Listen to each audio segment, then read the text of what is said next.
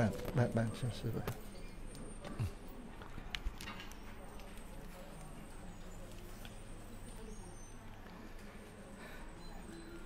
ខ្ញុំបកករណាសូមអ្នកមកសក្ការចំពោះព្រះដ៏មានព្រះភិក្ខដែលព្រះអង្គជាព្រះអរហន្ត ព្រះសម្មាសម្ពុទ្ធព្រមទាំងពធនិងព្រះ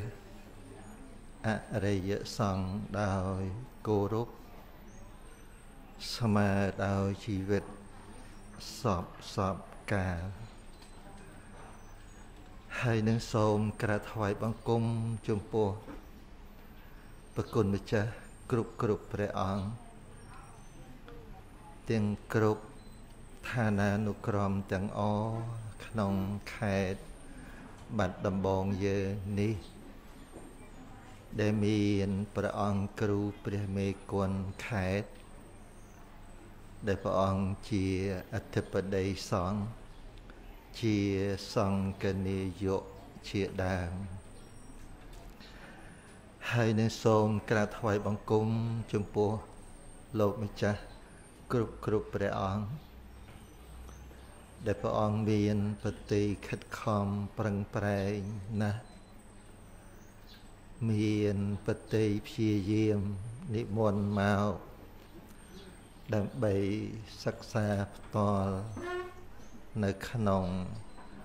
សាលារៀនសតបដ្ឋានខេត្តបាត់ដំបងនេះ ដោយសេចក្តីគោរពនិងដោយសេចក្តីកោតក្រែង ហើយក៏សូមគោរពចំពោះលោកគ្រូប្អូនធម្មាចារ្យហើយចម្រើន សូមគោរពចំពោះលោកគ្រូអ្នកគ្រូលោកតាលោកយាយលោកមេអ្នកមីងបងប្អូនប្រុសស្រីពុទ្ធបរិស័ទចិត្តឆ្ងាយទាំងអដោយសេចក្តីគោរពនិងដោយសេចក្តីជ្រះថ្លា បន្តអំពីសេចក្តីនមស្ការដោយសេចក្តីសង្ខេបត្រឹមប៉ុណ្ណេះខ្ញុំបករណាខ្ញុំបាទក៏សូមអរតនីលោកម្ចាស់គ្រប់គ្រប់ព្រះអង្គសូមអញ្ជើញលោកគ្រូអ្នកគ្រូលោកតាលោកយាយលោកមានអ្នកមីងបងប្អូនប្រុសស្រីទាំងអស់ យើងថ្ងៃនេះជាថ្ងៃពិភាក្សាសន្ទនានៅព្រះធររវាងគ្នានិងគ្នា ដែលយើងបានស្ដាប់មកហើយបានរៀនមកហើយចឹងក៏សូមអរតនានិមន្ត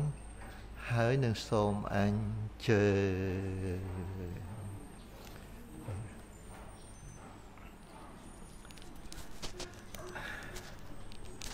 មានបញ្ហាកម្មទេលោកម្ចាស់សមរតនានិមន្តលោកចាស់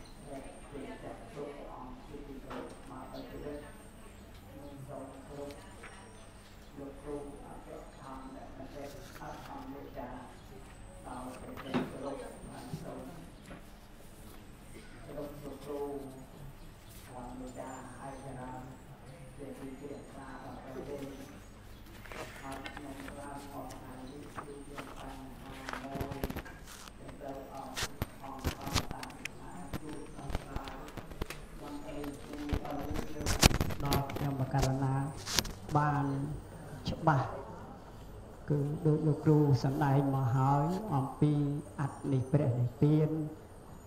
យមនេះព្រះនិព្វានឲ្យឈ្មោះនេះព្រះនិព្វានហើយធម៌ទាំង4យ៉ាងនោះគឺលោកគ្រូបានពយល់មកធ្វើឲ្យខ្ញុំភ្លឺមិនបានច្រើនក៏បាន30គឺ40%ដែលធ្វើឲ្យខ្ញុំជ្រះថ្លានឹងព្រះនិព្វានដោយសារលោកគ្រូបានបំភ្លឺហើយក្នុងថ្ងៃនេះ ខ្ញុំក៏សូមឲ្យអង្គសាធម្មចាមានព្រះគុណម្ចាស់ឬក៏អឺដែលគុណដល់ទេទៀតឬលោកតានិយាយទាំងអស់ដែលជាអ្នកជាសត្វជំនាញក្នុងជាពិសេសគឺចង់ដឹងវិបស្សនាដែលជាបរិយោសាននេះពីដែលជាជាលំអទី3មានតែធម៌មួយនេះទេដែលអាចជួយយុទ្ធយោង យើងខ្ញុំទៅដល់ធម៌ទាំង4ប្រជាមាន4ប្រការមានអាកមៈអារម្មភៈសន្ធានៈហើយនៅបដិច្ចៈធម៌ទាំង4នេះហើយដែលជាធ្វើឲ្យយើងខ្ញុំបករណាអាជ្រះថ្លាដល់ទីបំផុតហើយនឹងមុននឹងដល់ធម៌នោះគឺត្រូវមានអ្វីជាចិន្តាគឺមានវិបស្សនាកម្មដ្ឋាននេះជាអាច កម្មចិន្តាធ្វើឲ្យយើងខ្ញុំទៅដល់ទីនោះប៉ុន្តែក្នុងថ្ងៃនេះសូមអង្គធំកិច្ឆាមានលោកគ្រូធម្មបណ្ឌិតជាមូហើយលោកគ្រូទាំងអស់សូមជួយបំភ្លឺឲ្យយើងខ្ញុំថាតើហ្វឹកហាត់វិបស្សនានឹងមានអ្វីជាអារម្មណ៍មានអ្វីជាឫសគល់មានអ្វីជាដែលយើងសម្រាប់ពិចារណាធ្វើទៅកុំឲ្យខុសគេហៅថាអភពបុគ្គល ដើម្បីឲ្យយើងខ្ញុំមានអារម្មណ៍ឆ្ពោះទៅរួចផុតចាក់ទុកតែយ៉ាងហើយយើងខ្ញុំមានតែបញ្ហាប៉ុណ្ណេះឯងសូមមេត្តាអង្គធម្មស្ដេចជួយអនុគ្រោះ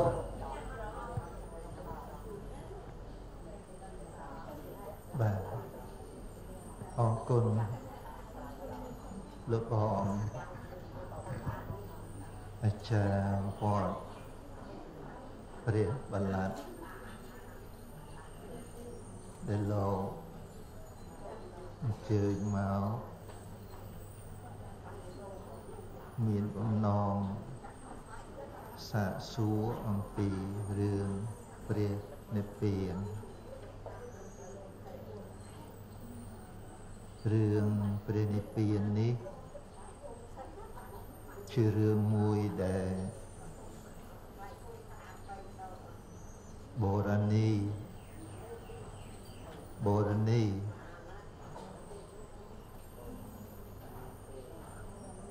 មកស្ដាប់ធម៌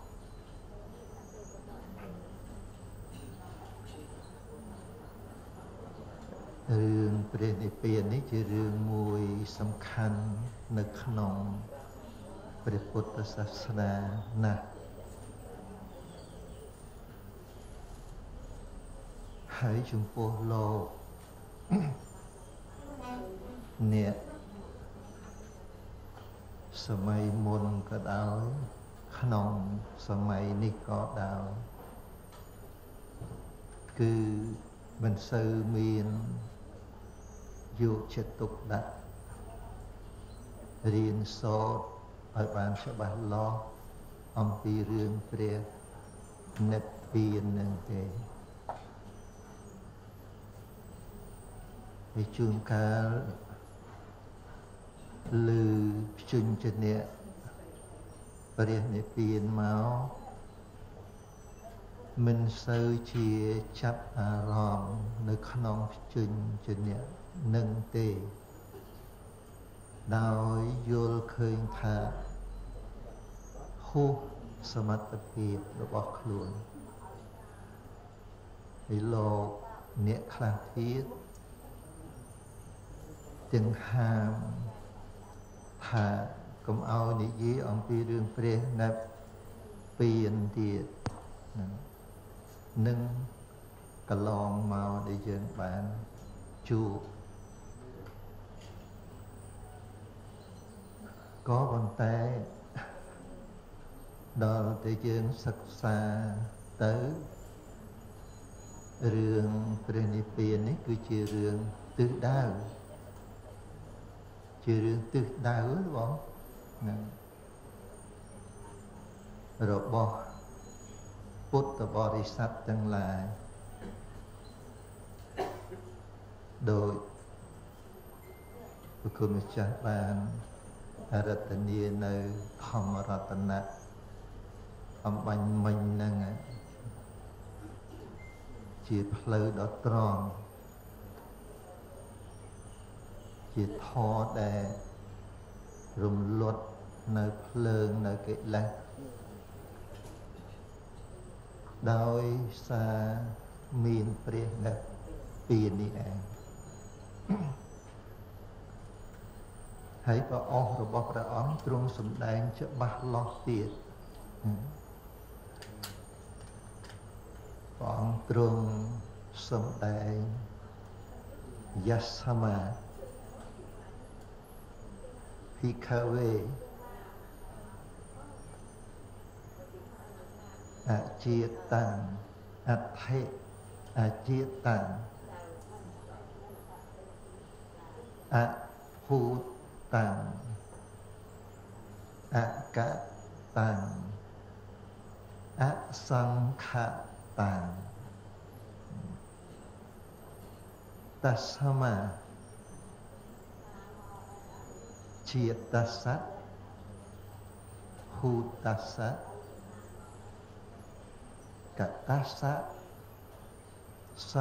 កតសៈ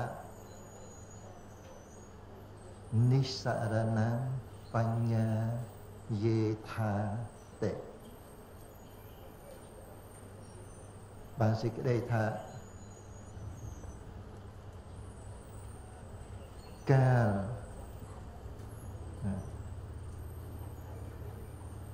ឬក៏ដោយសារឬក៏ព្រោះតែមានការមិនកើតការមិនមានការមិនបានធ្វើឬក៏ព្រោះ តែមានការមិនមានបច្ច័យប្រជុំតតែទៅទៅយ៉ាងណាទៅការរលាស់ចោលនៅជាតិការរលាស់ចោលនៅការមានការធ្វើ ហើយនឹងការរលាស់ចោលនៅគ្រឿងតតែងទៅដោយបច្ច័យរមែងប្រកបនៅក្នុងលោកអាជាតិតាំងនេះគឺជាឈ្មោះរបស់ព្រះនិព្វានអភូតតាំងនេះគឺជាឈ្មោះរបស់ព្រះនិព្វានអកតាំងនេះគឺជាឈ្មោះរបស់ព្រះនិព្វានអ សង្កតាំងនេះគឺជាឈ្មោះរបស់ព្រះនិព្វានហើយជាតិតាំងនេះជាឈ្មោះរបស់អីហ៎អជាតិតាំងជាឈ្មោះព្រះនិព្វានអញ្ចឹងជាតិតាំងជាឈ្មោះរបស់អីថាខណ្ឌបដ ாய் តើពីព្រោះព្រះនិព្វានវាផ្ទុយនឹងខណ្ឌវាផ្សេងអំពីខណ្ឌអញ្ចឹងជាតិតាំងវាបានដល់ខណ្ឌណាហូតាំងកតាំងសង្ខតាំងជាឈ្មោះរបស់ខណ្ឌឃើញទេហើយព្រះអង្គទ្រង់សម្ដែងថាព្រោះតែព្រោះតែមានព្រះនិព្វាននេះឯងទៅមានការរលាស់ ចោលនៅខណ្ឌប្រកបនៅក្នុងលោកយើងស្ដាប់សេចក្តីនឹងមើលមានការរលាស់ចេញនៅខណ្ឌទៅមានព្រះនិព្វានឬមានព្រះនិព្វានទៅការរលាស់ចេញនៅខណ្ឌប្រកបឃើញទេហើយអ្នកខ្លះទៅថាតើមានអរិយមេបានមានព្រះនៅពៀន វាផ្ទុយនឹងព្រះអង្គរបស់ព្រះអង្គតែម្ដងឃើញទេព្រះអង្គរបស់ព្រះអង្គថាព្រះនិព្វានមានទៅការរលាស់ចេញឬការរលាស់ចោលនៅខណ្ឌនឹងឯងប្រើកត់ក្នុងលោកបានមិនមានអរិយមគ្គទៅមានព្រះនិព្វានទេអត់ទេ ព្រះអង្គមិនដែលព្រះអង្គមិនដែលសំដែងអញ្ចឹងទេណាដោយសារមានធម្មជាតិព្រះនិព្វាននេះឯងមានបានជាមានបដិបទារលាស់ចេញអំពីខណ្ឌនឹងឯងមានប្រាកដនៅក្នុងលោកបានឃើញទេកន្លែងហ្នឹងទិញឲ្យចាំលោកទិញឲ្យចាំ ហើយកុំស្ដាប់ពីណាពីណីឲ្យសោះក្រៅពីពុទ្ធទិស្ដីមិញណាគ្រូកុំឲ្យស្ដាប់ពីអ្នកណាអ្នកណីឲ្យសោះក្រៅអំពីព្រះពុទ្ធតែហ៊ានស្ដាប់អំពីអ្នកដតីក្រៅអំពីព្រះពុទ្ធហើយវែងហើយវែងទិស្ដីនឹងឯង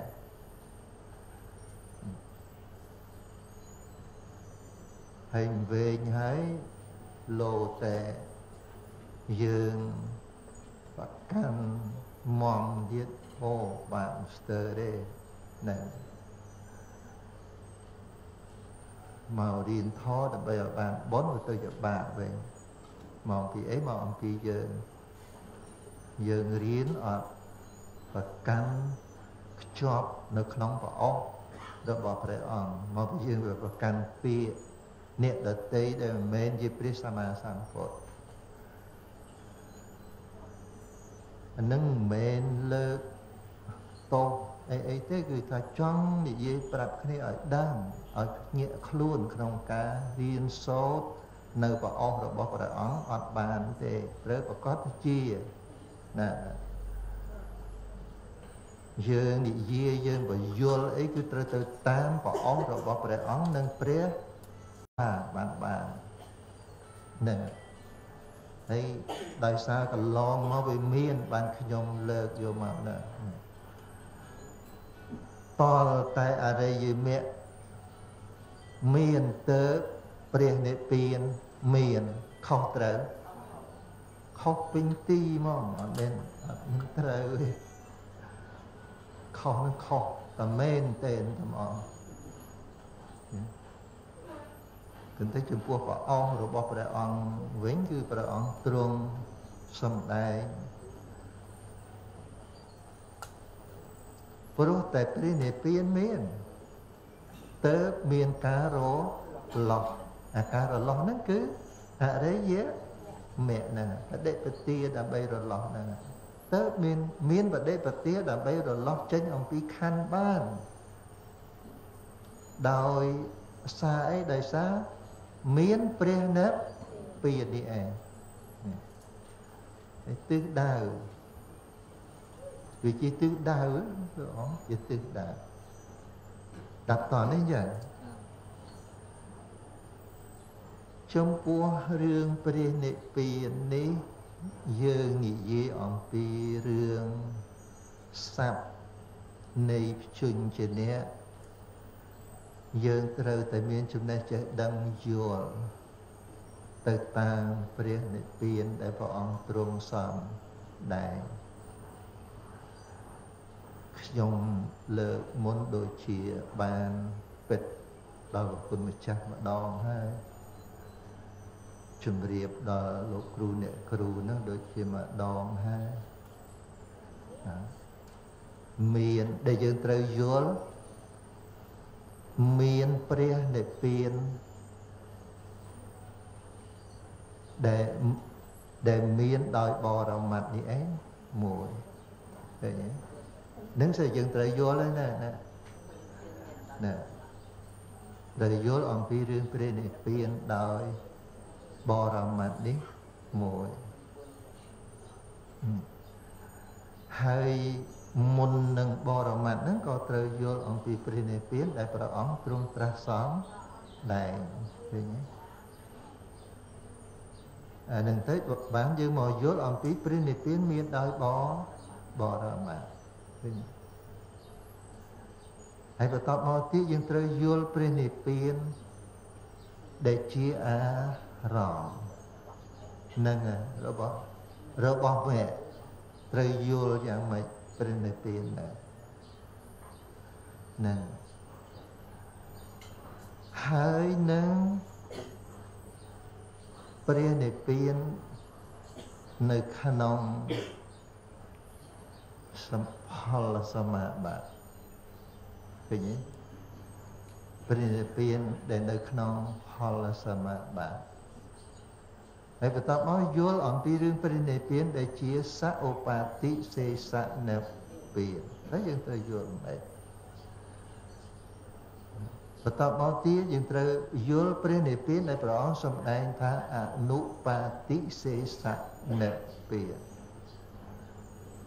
ហើយបើសិនជាអត់យល់អំពីរឿងព្រះនិព្វានទេអត់មានកម្លាំងដើម្បីក្នុងការប្រតិបត្តិទេអត់មានទេ អត់មានទៅរួចទេបើបើមិនខំប្រឹងយល់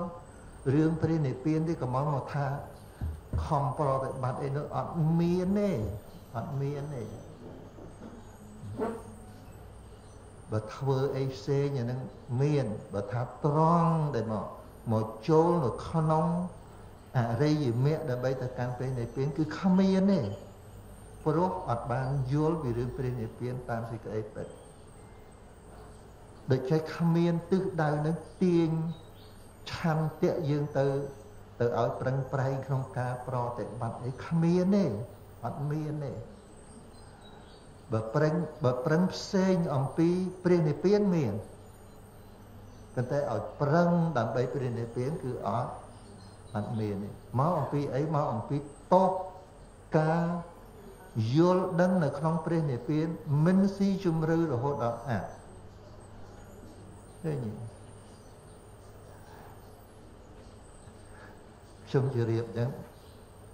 យល់ក៏ចឹងណាលោកបងស្រាប់អានហ្នឹងម្ដងណែអត់តន់ប្រតិបត្តិទេគ្រាន់តែយើងត្រូវមកយល់សិនមកយល់រឿងព្រះនិព្វានសិនតែព្រះនិព្វានដែលព្រះអង្គសម្ដែងនឹងគឺជាព្រះនិព្វានយ៉ាងម៉េចឃើញទេព្រះអង្គសម្ដែង រាល់រាល់រាល់ថ្ងៃនិព្វានាងបរមង្សពខាងឃើញ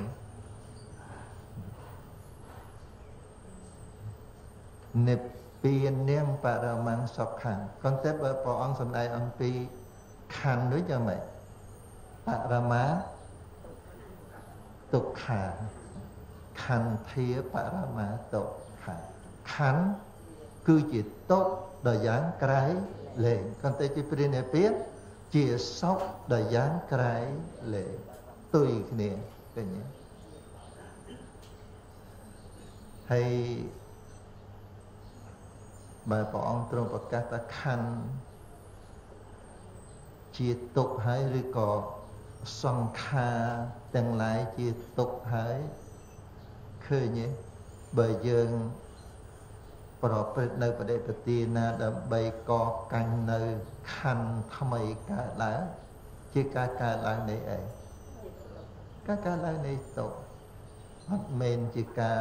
កើតឡើងនៅសពទេហើយយើងចេះតែ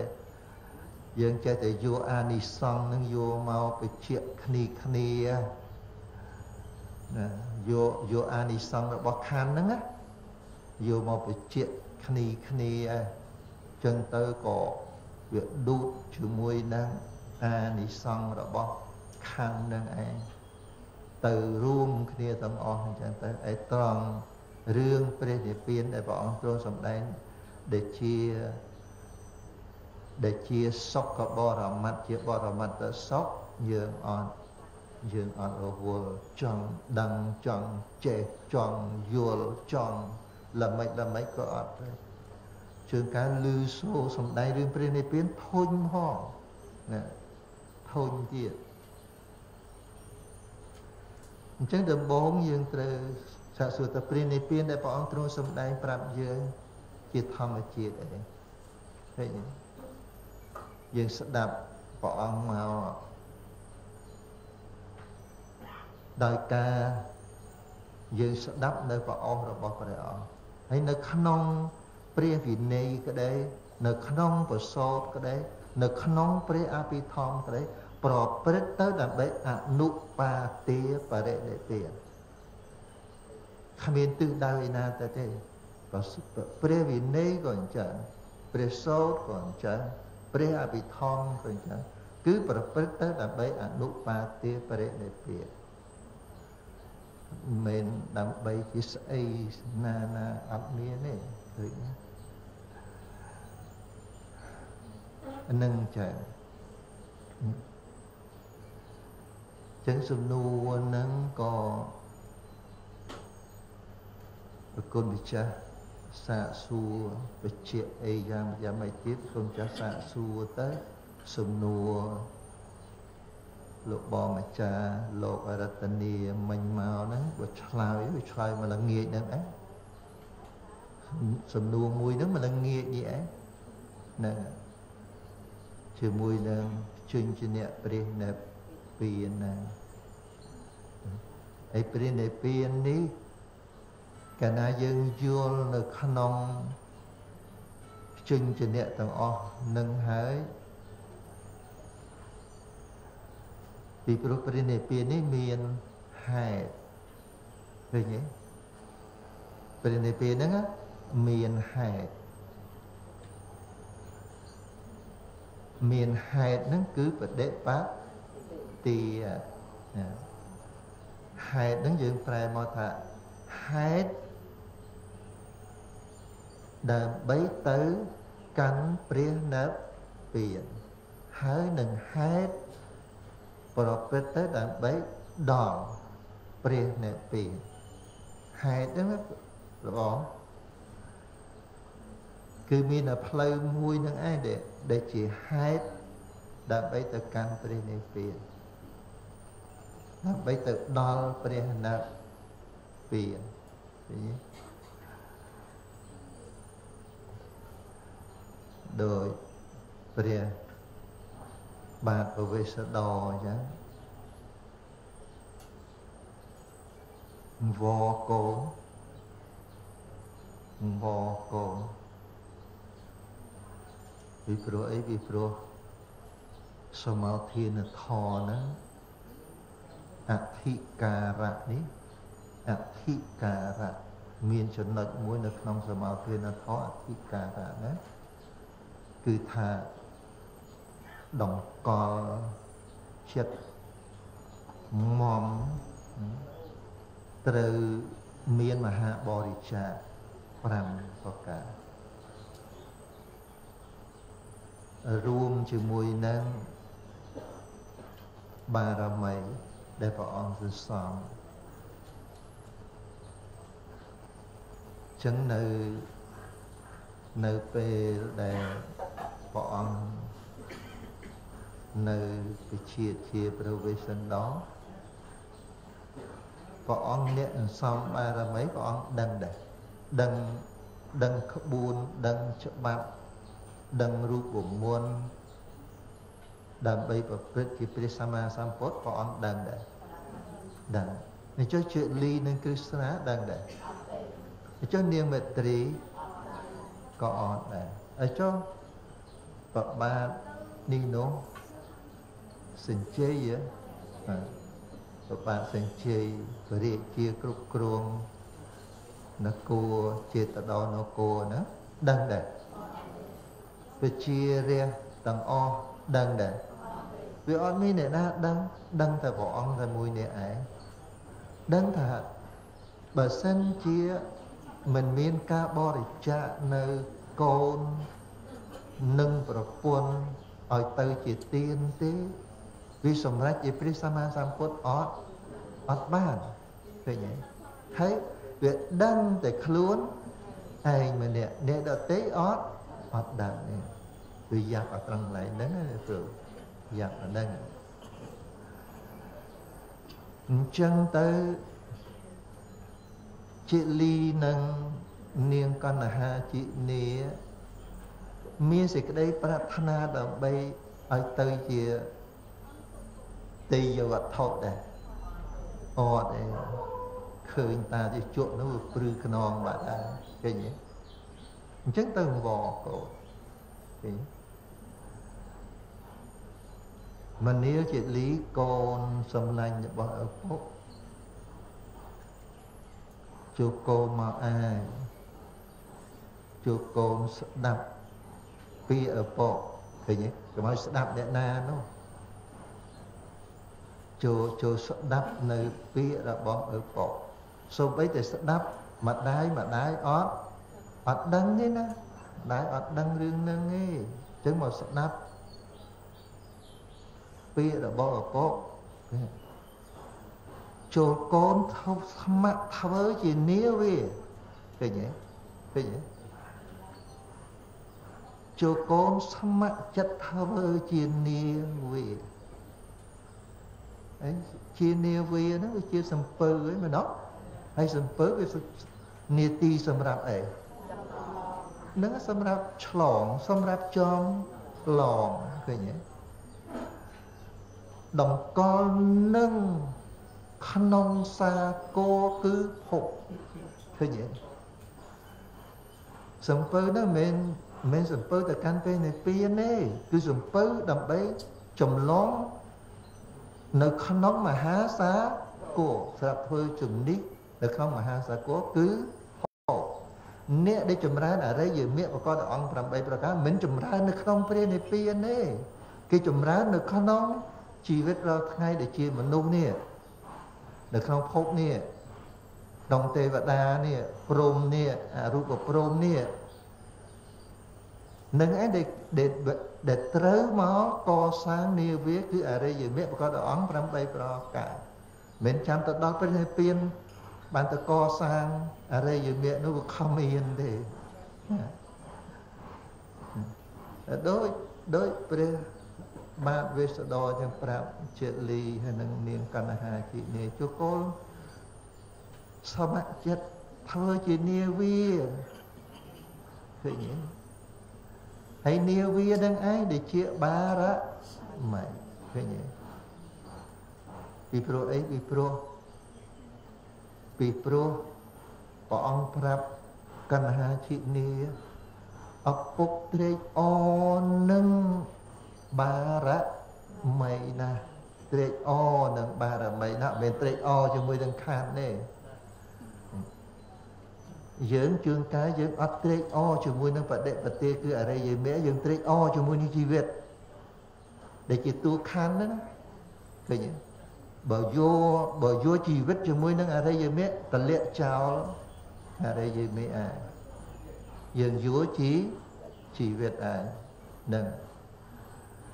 ប៉ុន្តែព្រះបានវេសិនដលោកថាបារមីនឹងឯងជាទីត្រេកអររបស់បេដាឃើញទេចូលកូនស្ម័គ្រធ្វើជានាវាតម្កល់ នឹងណាតម្កល់នឹងកុំឲ្យម្ដងធ្វើនាវាម្ដងធ្វើអ្នកថ្មើរជើងវិញអានឹងអត់ទេតម្កល់នឹងនៅក្នុងមហាសាគរគឺហុកដើម្បីអីដើម្បីបបីដាឆ្លងទៅកាន់ព្រះនិព្វានឃើញទេចឹងចឹងរឿងព្រះនិព្វាននេះសំខាន់ណាស់ បើចូលមកនៅក្នុងពុទ្ធសាសនាអត់ស្គាល់ព្រះនិព្វានទេអត់មានទិសដៅទេអត់មានទិសដៅទេខ្ញុំហ៊ានអះអាងអញ្ចឹងទៅម្ដងបើចូលពុទ្ធសាសនាអត់មានគិតគូររឿងព្រះនិព្វានទេគឺជាបុគ្គលដែលអត់មានទិសណាដូចខ្ញុំលើកឧទាហរណ៍ពីរឿងអ្នកលេងហ្វូតបាល់បាល់យ៉ាងបើចូលក្នុងតារាងសមៈខ្លួនជា អ្នកតតបាល់នៅក្នុងតារាងគេហើយវាត្រូវមានគំនិតធ្វើម៉េចឲ្យបាល់ចូលហ្គោលខាងបច្ចាមិត្តមែនទេទិសដៅគឺហ្គោលខាងមួយទៀតមិនចឹងឃើញទេអបើសិនជាយើងចូលទៅលេងអត់មានទិសដៅដើម្បីឲ្យបាល់ជួលនៅក្នុងហ្គោលមកខាងទៀតទេ ឈ្មោះថាយើងអ្នកលេងប្រកួតកីឡាហ្វុតបាល់ដែរបើគេដឹងផងហើយគេបាញ់ចោលទៅឥឡូវហ្នឹងឯងមែនទេអ្នកគ្រូតែគេដឹងតែយើងបាល់នៅមុខឲ្យយើងអត់តត់ចូលទៅមើលគេបាញ់ចោលតែឥឡូវហ្នឹងឯងព្រោះគេលេងម្ដងម្ដងគិតទៅ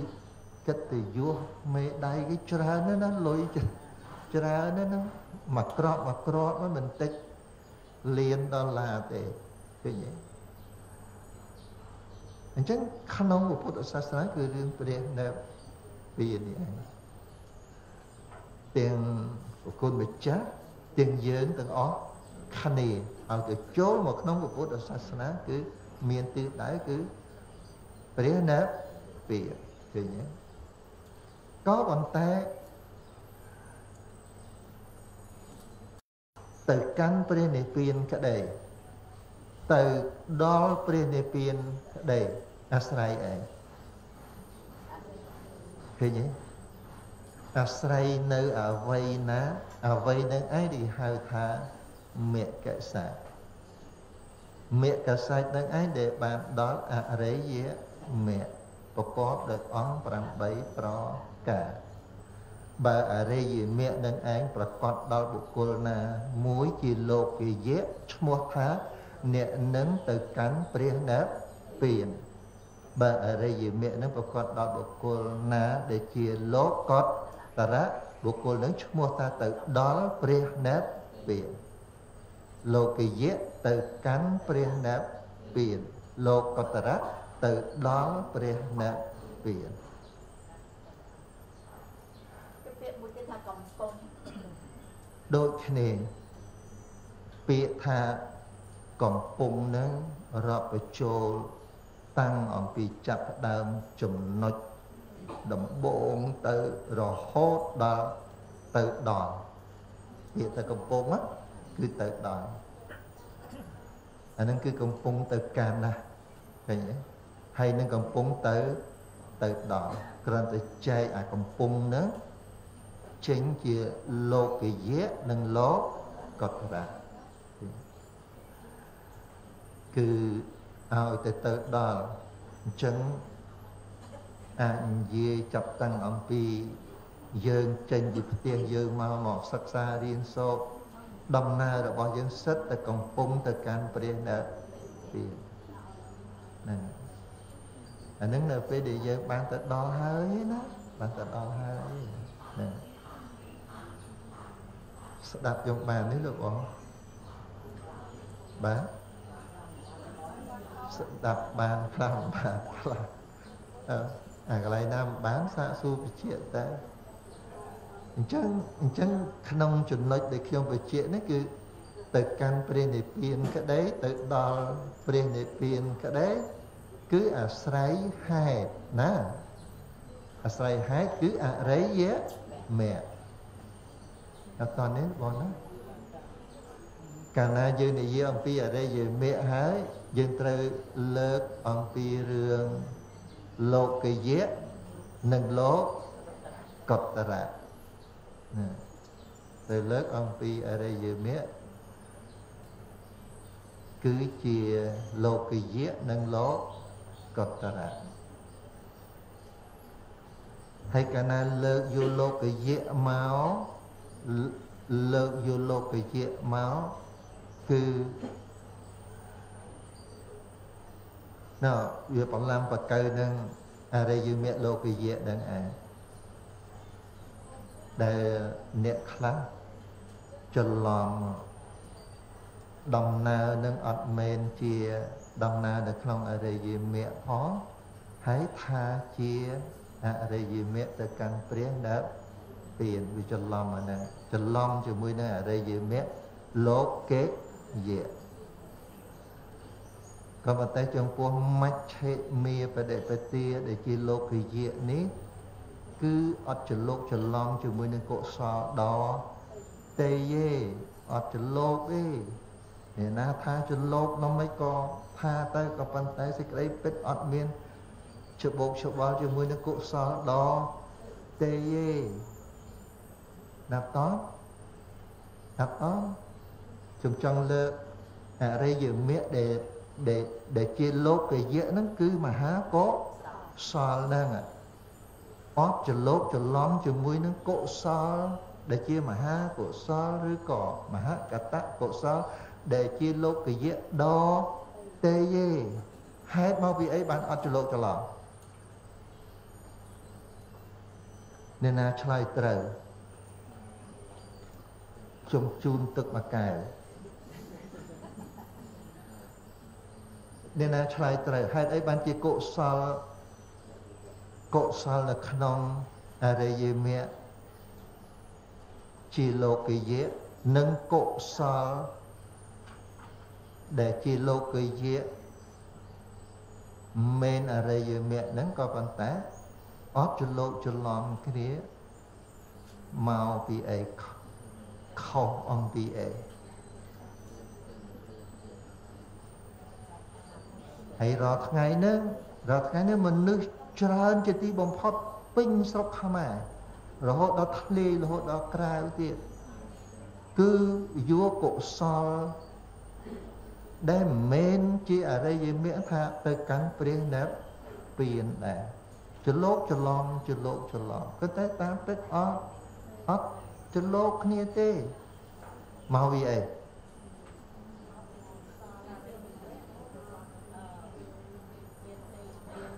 កុមកពីកុសលមួយនិងកុសលនៅក្នុងអរិយមគ្គយ៉ាងម៉េច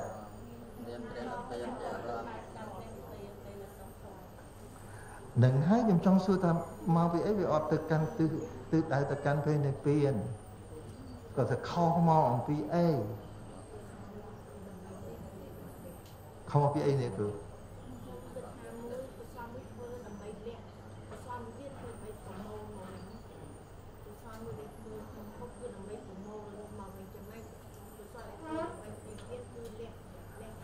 រូអានឹងគឺអត្តរបស់កុសលនឹងគឺត្រូវអញ្ចឹងត្រូវតែប្រមូលហើយនឹងលះអញ្ចឹងប៉ុន្តែអាអាចម្លែកដែលយើងបញ្ជាក់ថាល្មិចបានជាអត់ចលោកច្រឡំគ្នាបានពីព្រោះយើងយើងមើលយើងមើលយើងមើលអាសភាពកុសលទាំងពីរហ្នឹងវាខុសគ្នាវាអត់បោកចូលលាយឡំគ្នាទេអត់ចូលទេខុសពីអី លមួយមានផ្លែប្រតិបត្តិមួយអត់មានប្រតិបត្តិប្រតិបត្តិដូចគ្នាគួរចែកប៉ុន្តែមួយជាកុសលខុសពីអារម្មណ៍ខុសពីអារម្មណ៍ហើយមិនមានពេលជាអារម្មណ៍តែនិយាយលោកយៈខ្ញុំអត់និយាយអរិយមគ្គហ្នឹងជាលោកតរៈឯងនិយាយអរិយមគ្គជាលោកយៈដែលជាកុសលលោកយៈដូចគ្នាហើយ យើងធ្វើកុសលរាល់ថ្ងៃក៏ជាលោកេយៈដូចគ្នាដែលខុសខុសត្រង់ដែរណាដែលអត់ចូលគ្នា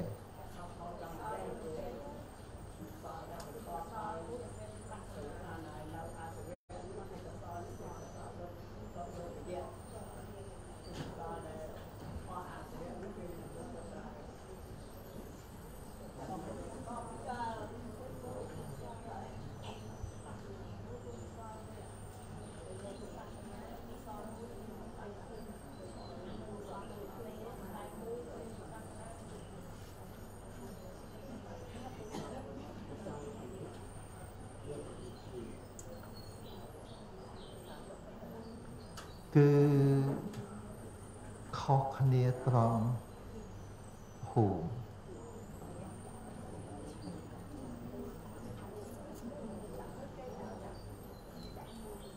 ខុសគ្នាត្រង់ហូមដែលចលោកចលក់មិនចលោកគ្នាបានដូចវាដោយសារភូមិនឹងឯងដែលព្រះអង្គសម្ដែងចែកដាច់ហ្នឹងដោយសារភូមិហ្នឹងឯងកុសលនៅក្នុង អរិយមគ្គដូចជាលោកយៈនៅក្នុងភូមិណាបាទអរិយមគ្គអរិយមគ្គដែលជាលោកេយៈកុសលនឹងជាកុសលនៅក្នុងភូមិឯងមែនចតុចតុឬក៏តេ អរិយមគ្គអរិយមគ្គដែលជាលោកយៈនៅក្នុងភូមិចតុឬក៏តេល្អគឺគឺកុសលនឹងជាលោកយៈដូចគ្នាក៏ប៉ុន្តែប្រព្រឹត្តនៅក្នុងភូមិគឺភូមិ4 ឯចំពោះកុសលដែលយើងធ្វើរាល់ថ្ងៃនេះដែលមិនមែនជាអរិយមគ្គទេគឺជាកុសលដែលប្រព្រឹត្តនៅក្នុងភូមិ3ឃើញទេហើយភូមិ3នឹងឯងដែលខ្ញុំថាចេញអត់រួចចេញអត់រួចហើយយើងយកកុសលនឹងឯងអះអាងថាទៅកាន់ព្រះណាប់ពៀនផងឲ្យមានភូមិលោកតរៈមកពីណា បើធរនឹងប្រព្រឹត្តនៅក្នុងភូមិ3មានលោកតរៈភូមិមកពីណាហ្នឹងចំណុចនេះឯងដែលដែលយើងត្រូវចេះត្រូវដឹងត្រូវយល់ហ្នឹងហ្នឹងដោយសារយើងអត់ស្គាល់ភូមិ នៃកុសលដែលព្រះអង្គទ្រង់សម្ដែងអញ្ចឹងបានជាយើងចេះតែចេះតែនិយាយនិយាយទៅចេះតែថាថាទៅឲ្យទៅ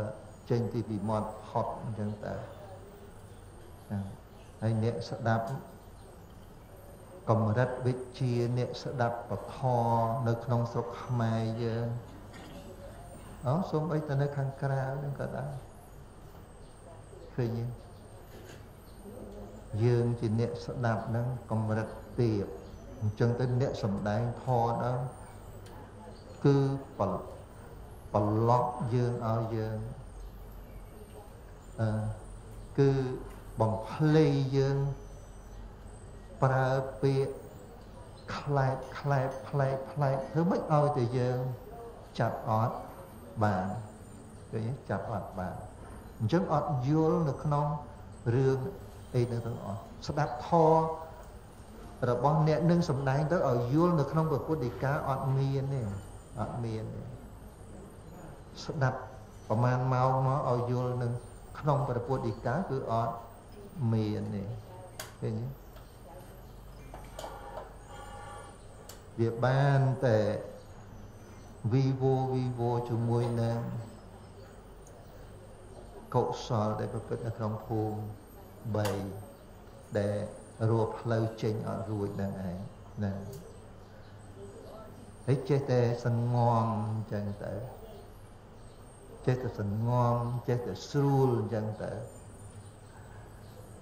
ក្នុងផ្ទះយើងដែលយើងឃើញមានពោះតូចតូចតូចតូចតូចប្រវែងមក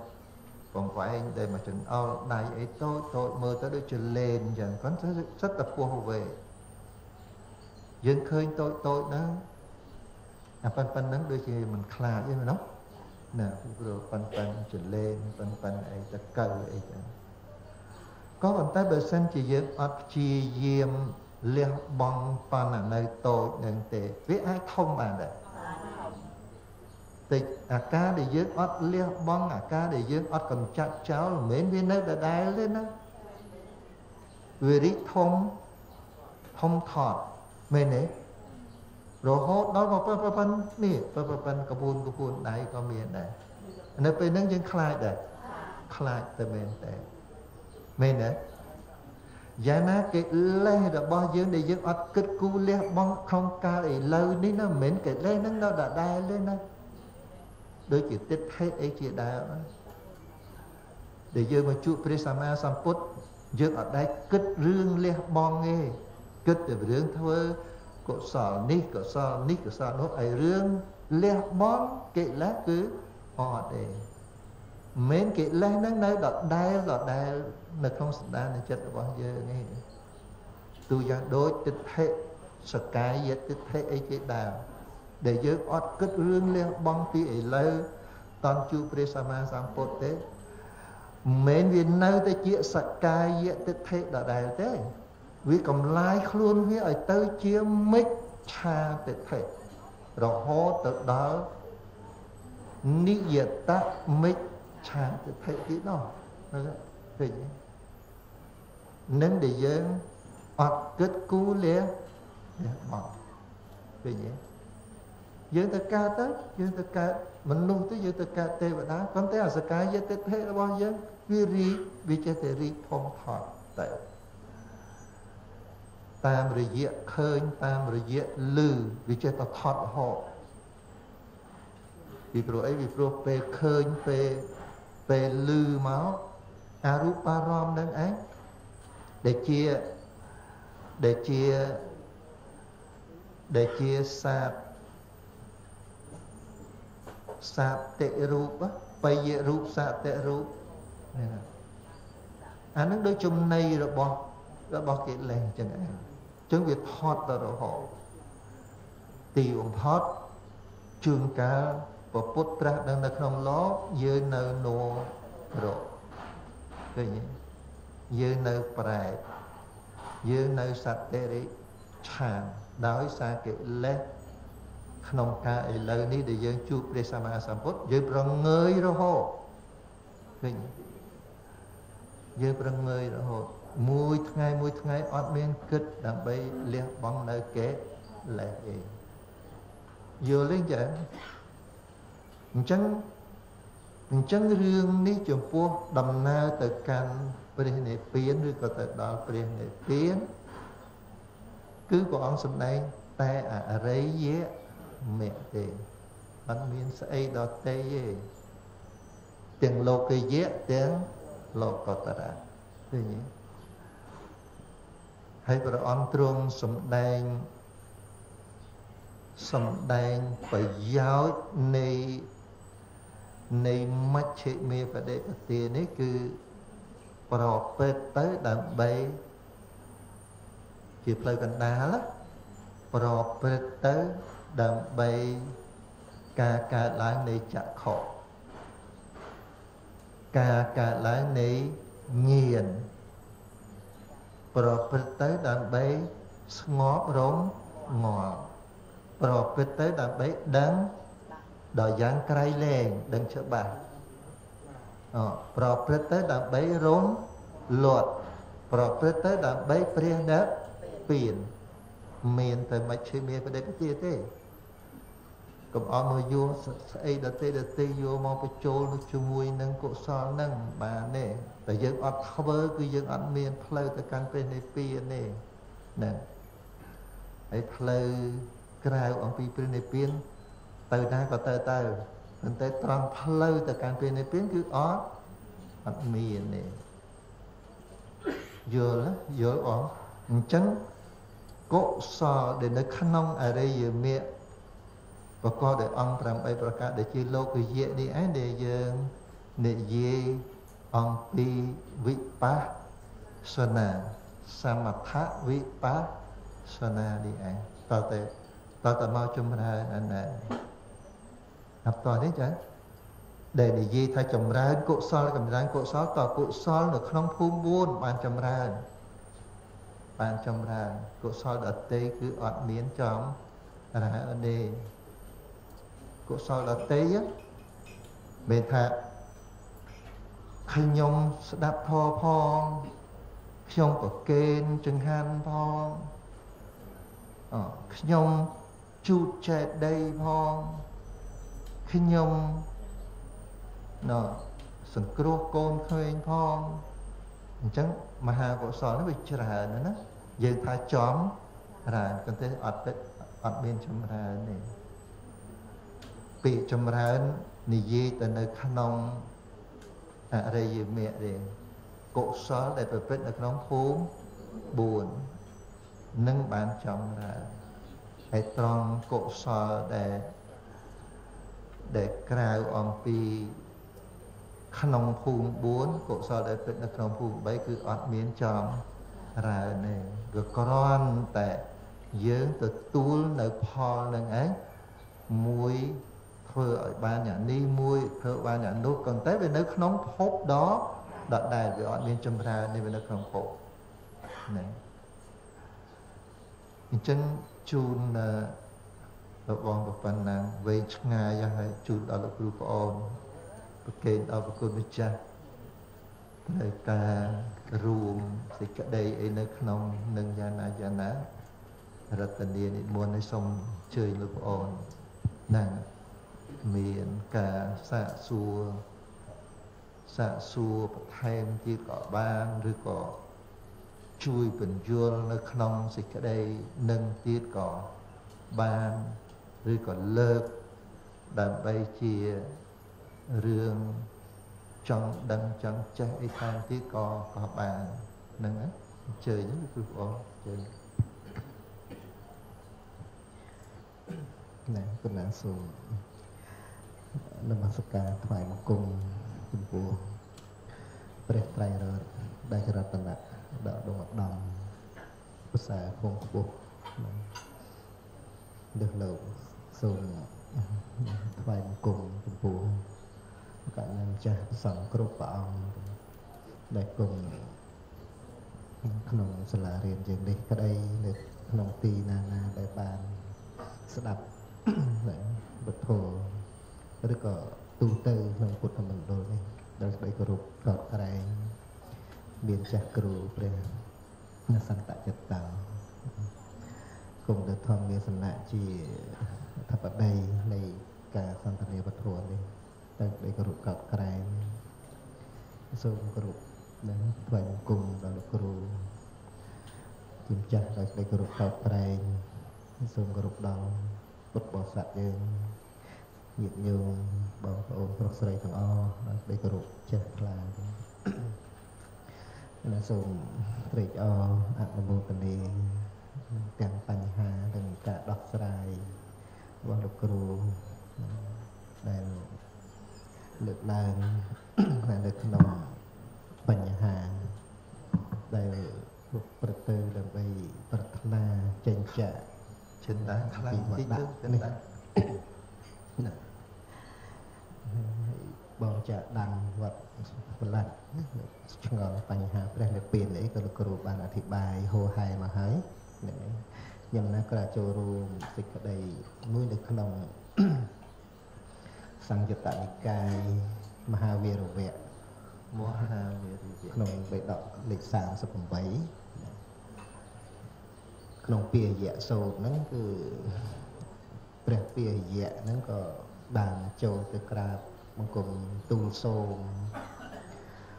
នឹងព្រះមេបុភាដើម្បីបាននៅធម្មទេសនាដោយសង្ខេបនឹងហើយលោកនឹងណាចេញទៅតែម្នាក់ឯងនឹងប្រព្រឹត្តបដិបត្តិទៅក្នុងន័យសង្ខេបហើយបានព្រះនៅភិហ្នឹងព្រះអង្គប្រាស់តបនឹងពាយៈហ្នឹងថា ណែមនាលពាយៈអ្នកក៏បីណែជំរះនៅដើមនៃកុសលធម៌សិនអាហ្នឹងខ្ញុំឡើងខែមកណាមនាលពាយៈក្នុងសាសនានេះអ្នកចូលជំរះនៅដើមនៃកុសលធម៌សិនចុះអ្វីជាដើមនៃកុសលធម៌ គឺសិលស្អាតល្អមួយទឹកធិត្រង់មួយហើយក្នុងអត្តកថាលោកបញ្យលទឹកធិហ្នឹងគឺសំដៅដល់កម្មសកតាទឹកធិនឹងឯងការយល់នៅក្នុងកម្មនិងផលរបស់កម្មជាដើមហ្នឹងឈ្មោះថាទឹកធិត្រង់ហ្នឹងហើយបានព្រះអង្គប្រាស់សម្ដែងតទៅថាមនាលពីរយៈកាលបើអ្នកនឹងមានសិលស្អាតល្អមានទិដ្ឋិត្រង់ហើយ មនាលពីរយៈលំដាប់អំពីនោះទៅអ្នកក៏បីអាស្រ័យសិលតម្កល់នៅក្នុងសិលហើយចម្រើនលើសតិប្បដ្ឋាន4ចុះលើសិលគុណចាស់មានហើយញាតិញោមក៏មានសិលដែរហើយព្រះអង្គបានទូលមានណាណែនាំហើយទិដ្ឋិហ្នឹងក៏ត្រង់នឹងហើយបានជឿអំពីកម្មផលរបស់កម្មអីអីធ្វើបុណ្យ បានបុណ្យធ្វើបាបបានបាបអីអានោះគឺជាទិដ្ឋិត្រង់ហើយណាទៅតាមន័យនៃព្រះអត្តកថាហ្នឹងហើយអញ្ចឹងព្រះអង្គក៏ណែនាំទៀតថាបើពាយៈហ្នឹងគឺថាប្រាថ្នាដើម្បីជាបុគ្គលតែម្នាក់ឯងណាក៏បីណាអាស្រ័យសិលតម្កល់នៅក្នុងសិល អានេះថាអាស្រ័យសិលដែលខ្លួនមានហើយហ្នឹងហើយតាំងនៅក្នុងសិលហ្នឹងចម្រើននៅសតិប្បដ្ឋាន4ហ្នឹងហើយសតិប្បដ្ឋាន4ហ្នឹងដូចម្ដេចយើងក៏បានសិក្សារឿយរឿយមកហើយគឺមានសេចក្តីព្យាយាមណាពិចារណានៅកាយក្នុងកាយវេទនាក្នុងវេទនាជាដើមហ្នឹងហ្នឹងហើយហើយបានព្រះអង្គត្រាស់សម្ដែងតធម្មនាលពីរយៈកាលបើអ្នក អាស្រ័យសិលតម្កល់នៅក្នុងសិលចម្រើននៅសតិប្បដ្ឋានទាំង4នេះយ៉ាងនេះឯងមនាលពីរយៈលំដាប់អំពីនោះទៅយប់ក្តីថ្ងៃក្តីនឹងមកដល់អ្នកសេចក្តីចម្រើននឹងប្រកបក្នុងកុសលធម៌ទាំងឡាយមិនបានសាបសូន្យឡើយនេះសេចក្តីនៅក្នុងនាសគាទវៈនឹង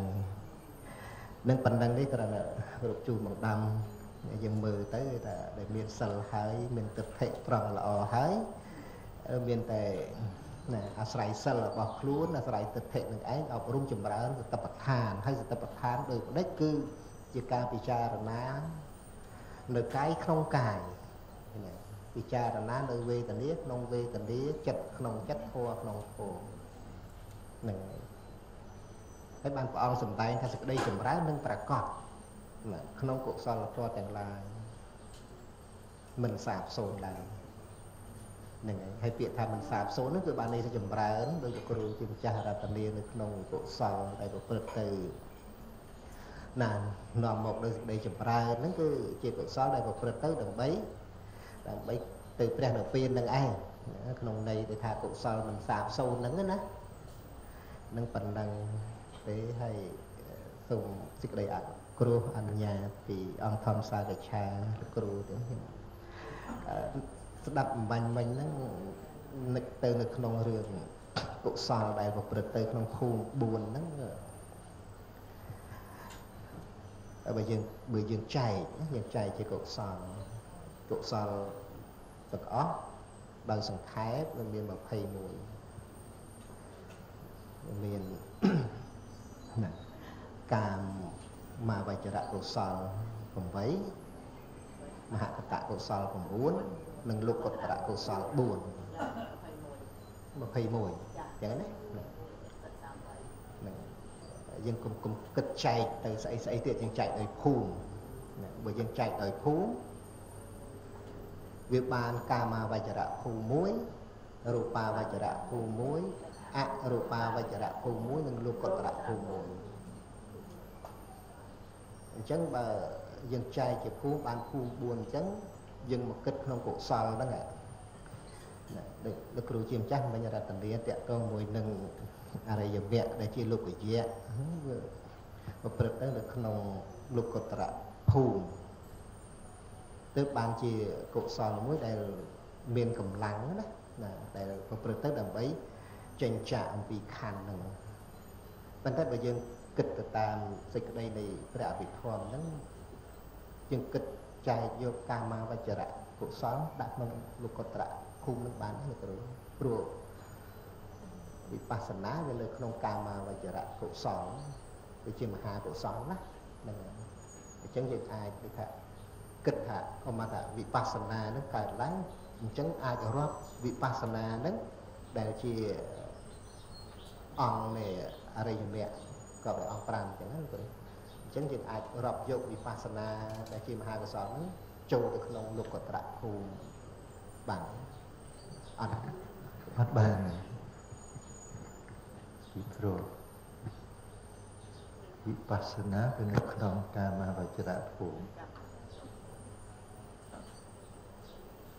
ក៏ប៉ុន្តែវាក្រំតែមហាកុសល ដែលកើតឡើងដោយវិបស្សនានេះវាប្រព្រឹត្តនៅក្នុងភូមិ4ប្រព្រឹត្តទៅក្នុងភូមិ4ក្នុងធម៌ដែលនៅក្នុងភូមិ4វាអត់អត់អាចជាលោកកតរៈឯង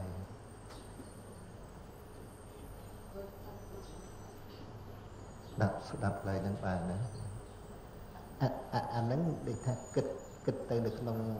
ភូមិ4ហ្នឹងកុសលហ្នឹងយ៉ាងម៉េចលោកគ្រូដូចថាចង់និយាយថាកុសលណាប្រព្រឹត្តទៅដើម្បីចេញពីព្រោះភូមិហ្នឹងគឺមានលោកកតរៈនៅក្នុងហ្នឹងអញ្ចឹងអញ្ចឹងកុសលដែលនៅក្នុងភូមិហ្នឹងវាជាកុសលមួយដែលប្រព្រឹត្តដើម្បីចេញបានចឹងទឹករាប់ថាអឺ វិបស្សនាហ្នឹងអាចប្រព្រឹត្តទៅនៅក្នុងភូមិ4អញ្ចឹងគឺភូមិ4នៅក្នុងធម៌ដែលមាននៅក្នុងភូមិ4អញ្ចឹងទៅឧទាហរណ៍មកថាដូចដូចម្នាក់ខ្មែរយើង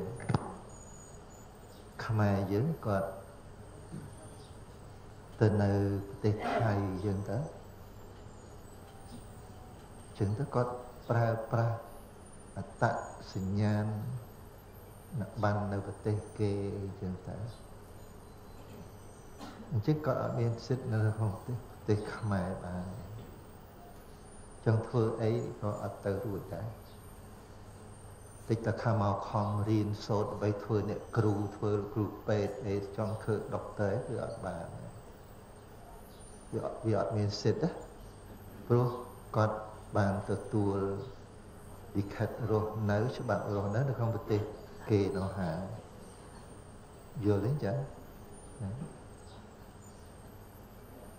បើបើបើអញ្ចឹងដូចដូចដូចជាអត់ត្រូវន័យខាងដើមលោកគ្រូ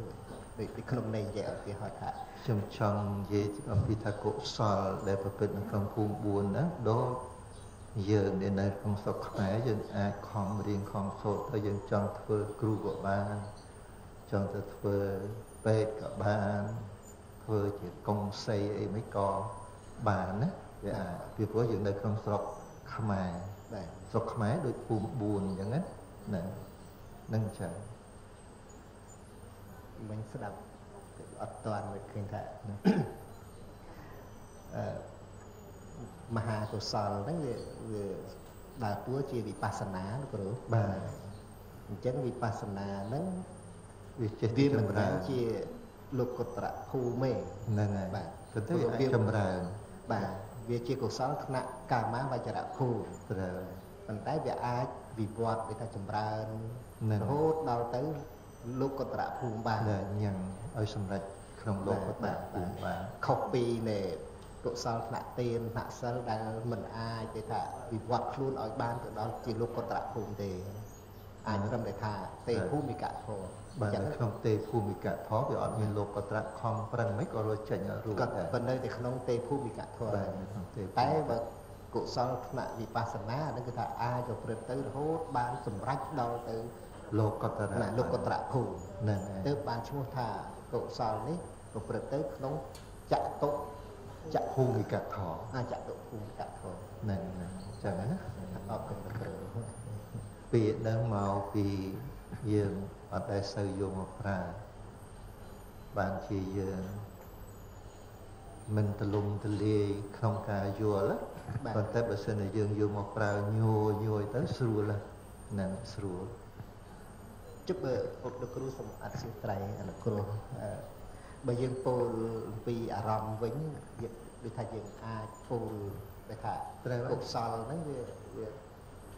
វាផ្សេងគ្នាអំពីអារម្មណ៍អញ្ចឹងបានដែរលោកគ្រូត្រូវហើយពីព្រោះពីព្រោះនៅក្នុងចតុភូមិកៈធម៌អារម្មណ៍វាត្រូវលើបរមត្តវាត្រូវដើម្បីទៅដល់ដើម្បីឲ្យបាននៅសមាធិដ្ឋិបាទបាទ បាទបើក្នុងសេចក្តីខ្លះលោកលោកប្រើពាក្យថាដូចនៅក្នុងសតបដ្ឋានអី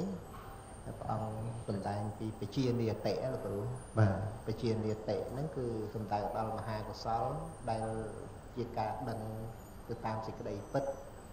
នៃនាមរូបហ្នឹងអាហ្នឹងគឺចង់និយាយថាជាវិបស្សនាហ្នឹងហើយដែលត្រូវដែលប្រព្រឹត្តទៅជាបជានិយតិអញ្ចឹង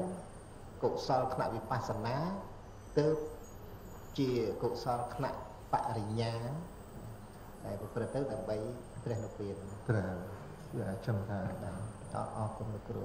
ហើយបើគេសួរថាចុះនៅធម៌ដែលប្រព្រឹត្តនៅក្នុងចតុភូមិកៈធម៌មានអកុសលជាតិដែរអត់មកយកធម៌ដែលប្រព្រឹត្តនៅក្នុងចតុភូមិកៈធម៌មានអកុសលជាតិដែរអត់មកយក វាអត់មានទេមកពីវាអត់មានអាជាតិអកុសលហ្នឹងឯងបានវាចិត្តតែរុលទៅរកព្រះនៅពៀនបានក៏ប៉ុន្តែចំពោះធរដែលពិតនៅក្នុងទេភូមិកៈធរមានអកុសលជាតិមានអកុសលជាតិវាជាប់ហ៎បងវាវាជាប់អកុសលជាតិជាឫសគល់អញ្ចឹងបានចេញទៅមិនរួចណា ចឹងបានយើងត្រូវបញ្ជាក់ថាកុសលដែលយើងធ្វើទាំងបានបានសពថ្ងៃនេះវាសិតតែជាប់ជាតិពីអកុសលមានអវិជ្ជាទៅអញ្ចឹងវារត់ចេញទៅអត់រួចទេចឹងឯងបានព្រះអង្គសម្ដែងបដិច្ចសមុបាទដោយអនុឡោឃើញទេជាមិច្ឆាបដិបទាជាមិច្ឆាម្នាក់រឿងបដិច្ចសមុបាទហ្នឹងលោកប្អូនត្រូវគិតឲ្យបានល្អល្អ ហ្នឹងខ្ញុំឃើញនៅក្នុងណាបរិច្ចសមុបាទទៅវិភាំងហ្នឹងទៅរៀនហ្នឹងឃើញព្រះអត្តកថាលោកលោកប្រើពាក្យមួយគឺថាយើងអត់សូវដែលបានឮពីអីនោះលោកប្រើពាក្យថាបុគ្គលធ្វើនៅកុសលដោយមិនមានអវិជ្ជាមិនមានលោក ប្រើពាក្យអញ្ចឹងថាបុគ្គលធ្វើនៅកុសលដោយមិនមានអវិជ្ជាជាបច្ច័យមិនមានបានន័យថាអត់មានបុគ្គលណាដែលដែលអត់មានអវិជ្ជាហើយធ្វើកុសលនឹងក្នុងក្នុងលោកសេចក្តីសរុបលោកចង់និយាយអំពីអវិជ្ជាដែលជាអនុសាយបាទបាទបាទហ្នឹងហើយត្រូវវាមិនដែលអ្នកណាកើតមកអរិយបុគ្គលស្រេចតែម្ដងណែមានក៏ប៉ុន្តែចំពោះ វិជ្ជាដែលអត់ចំពោះអវិជ្ជានៅក្នុងបដិច្ចសមុបាទអាចមិនមានអាចមិនមានទៅបានគឺក្រុមឃ្លាដែលលោកប្អូន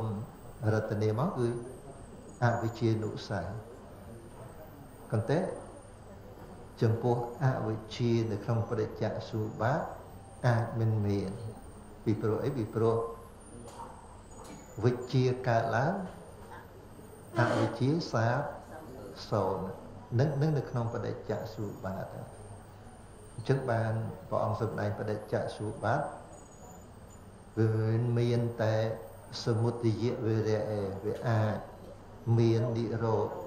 វិរៈបានត្រង់ដែលវាអត់មានអវិជ្ជានឹងឯងឃើញទេសេចក្តីនឹងយើងគិតឲ្យបានច្បាស់លាស់ទៅយើង សំដែងពធមមុតហ៎មុតហ៎មុជទៅជ្រៅមកហ្នឹងហើយហ្នឹងតែតនេះបងណាហ្នឹងនឹងឲ្យឆ្ងល់អីយើងសាកសួរគ្នាទៅដើម្បីឲ្យបានច្បាស់លាស់នៅក្នុងព្រះអង្គរបស់ព្រះអង្គហើយយើងនឹងត្រៀមក្នុងការប្រតិបត្តិមិនតាន់ពោះពេលទេចំពោះយើង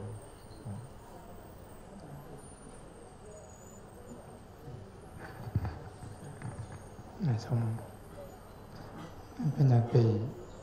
ណាប្រធានគ្រប់កិច្ចទាំងពួង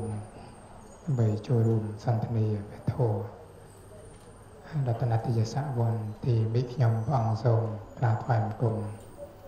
ប្រជុំបីនៃព្រះត្រៃរតដែលជារតនៈដ៏ដងដំភាសាពងពោះលើលោកដោយ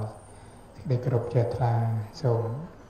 ក្រាបថ្វាយបង្គំចំពោះព្រះសង្ឃធេរៈក្នុង ទីនេះដោយសេចក្តីគោរពធ្វើសេចក្តីគោរពរាប់អានចំពោះកណាគុណចាស់នេះបញ្យុណាគ្រប់ព្រះអង្គចំណានពលគ្រូធម្មបណ្ឌិតគ្រូធម្មវិចារហើយចម្រើនចំណានពលញាតិញោមពុទ្ធបរិស័ទព្រះស្រីទាំងអស់ពុំតាមដានស្ដាប់នៅការសន្ទនាព្រះធម៌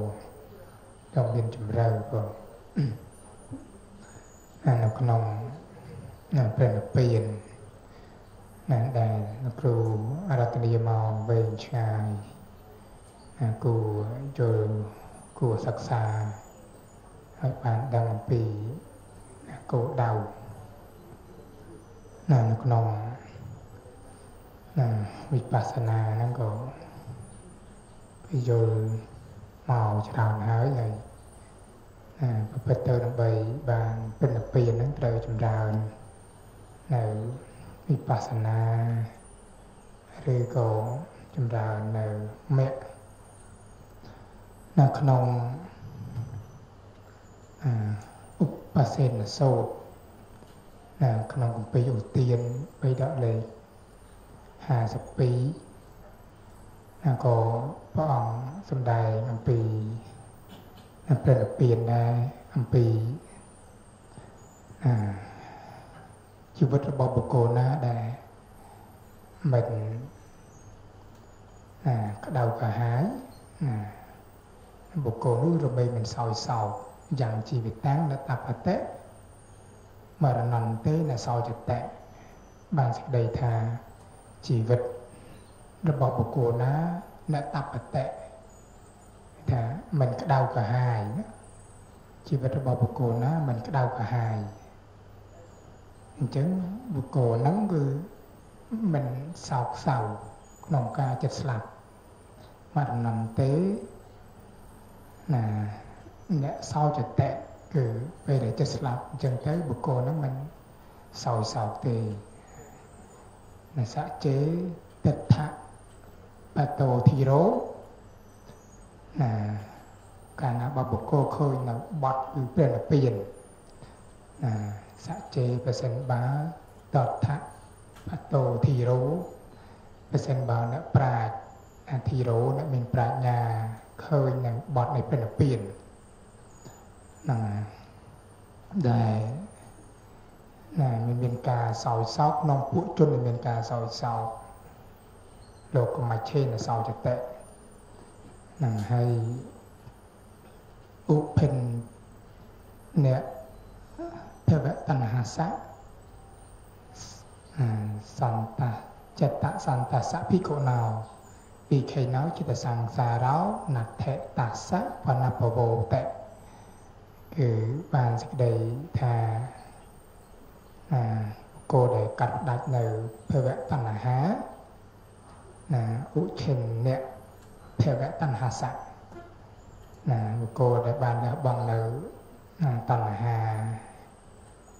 ណាភវតណ្ហាហើយជាអ្នកមានចិត្តស្ងប់ណាសន្តៈចិត្តសៈភិក្ខុណោភិក្ខុដែលមានចិត្តស្ងប់ហ្នឹងវិខៃណោណាមានជាតិអស់ហើយចិត្តសង្សារោវិខៃណោចិត្តសង្សារោមានជាតិជាតិនឹងសង្សារអស់ហើយហ្នឹងក៏ណដ្ឋិតាសៈបណពវោបុគ្គលហ្នឹងគឺមិនត្រឡប់កាន់លោកនេះវិញទៀតទេ ព្រោះអស់តណ្ហាអញ្ចឹងគឺតណ្ហានេះលះបង់ដោយអវិជ្ជាអស់តណ្ហានេះលះបង់ដោយ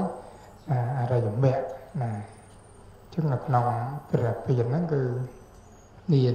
សំដែងច្រើនហើយក៏ឆ្ងល់អីសាក់សួរគ្រូបន្ថែមទៀតនៅក្នុងបទមួយដែលយើងបានសិក្សារួចហើយក្នុងការថា អាពលពៀនហ្នឹងមិនអរិយមគ្គជាអ្នកបង្កើតទេហ្នឹងហើយមិនទេតើតែមានអរិយមគ្គណាគឺថាអរិយមគ្គជាអ្នកបង្កើតនៅនិព្វានបើអរិយមគ្គអត់មានទេនិព្វានហ្នឹងក៏អត់អញ្ចឹងណាអញ្ចឹងក៏អាត្មាក៏អាចាក់ចង់សាកសួរសេចក្តីនឹងបន្ថែមត្រង់ ណាព្រះប៉ុណ្ណៈណាប៉ុណ្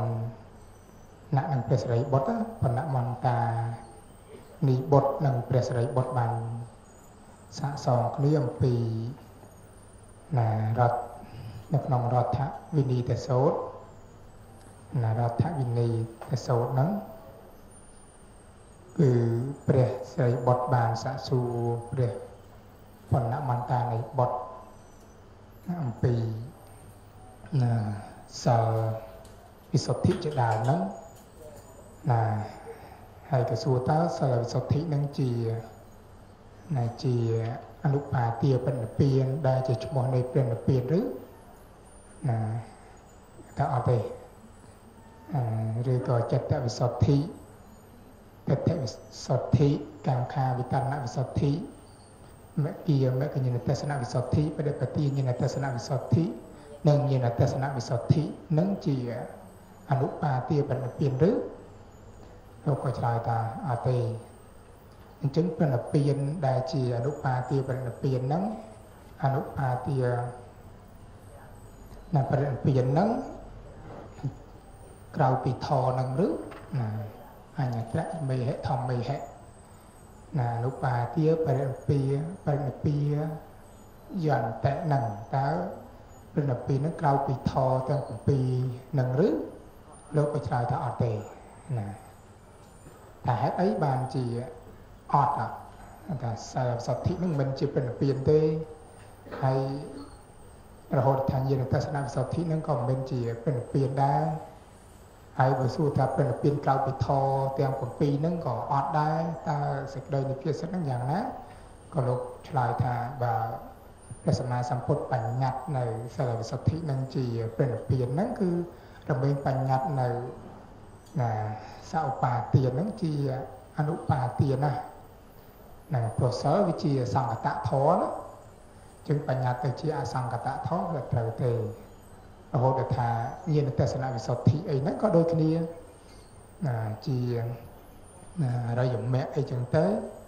ក៏ជាសង្កតធរមិនមែនជាអសង្កតធរទេជាងវាត្រូវទេហើយអឺបើសិនបើពលពៀនក្រៅពីធរទាំង7ហ្នឹងជាងពធុជនដែលមិនមាននៅនៅសាលវិសុទ្ធិរហូតដល់ថាយានទស្សនវិសុទ្ធិហ្នឹងក៏ឈ្មោះថាបានពលពៀនហើយព្រោះពធុជនហ្នឹងមិនមាននៅធរទាំង7ហ្នឹងហ្នឹងទេណាអញ្ចឹងគឺតើ ប្រណិពានហ្នឹងត្រូវយកយ៉ាងណាក្នុងសេចក្តីហ្នឹងគឺថាណាបើมันមានធទាំងហ្នឹងទេណាណាមានន័យថាប្រពៃមិនមិនដតីក្រៅពីធរនឹងទេបើក្រៅពីធរហ្នឹងណាបទុជនបានពៀនហ្នឹងណាណាអញ្ចឹងគឺចង់ណាសាកសួរលោកគ្រូក្នុងសេចក្តីហ្នឹងក្នុង នៅចុងក្រោយហ្នឹងបើអត់មានធរទាំងហ្នឹងទេ អត់មានវិសុទ្ធិទាំង7ហ្នឹងទេគឺ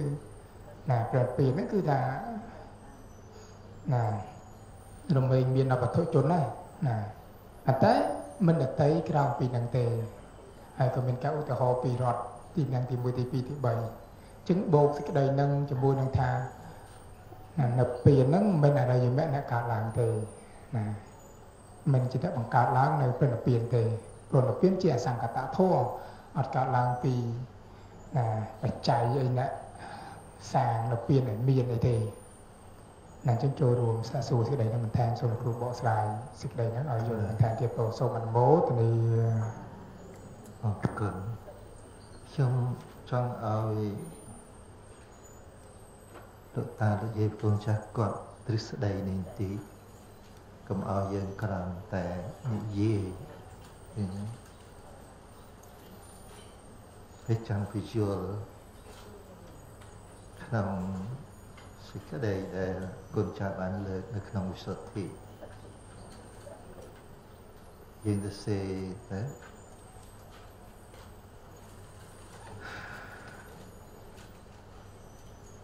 សេបល័យយ៉ាស្មាយោសជើងមួស្រៈអា យ៉ាស្មាដកព្រានតិចចាក់ខោដកតិចតិចទៅភិក្ខវេយាសមាចខោភិក្ខវេដកតិចតិចទៀតអថេអថេអ តជាងធស្រៈអេដកតិចទៅអជាតានដកតិចទៀតអភូតាន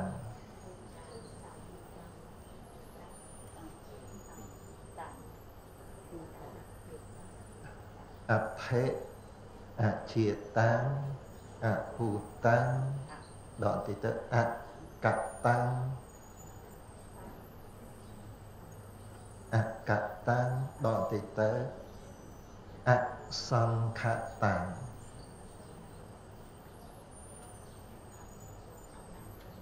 អសង្ខតាំងដកតិទៅតស្មាតស្មា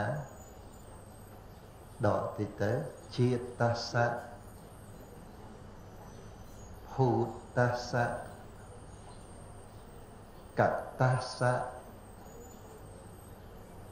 ង្ខតសៈដូចឥឡូវចឹងដូចឥឡូវលុបតាអអអជាតិតាំងយើងដាក់ជាតិសៈអញ្ចឹងទៅដូចលើចឹងជាតិសៈភូតសៈ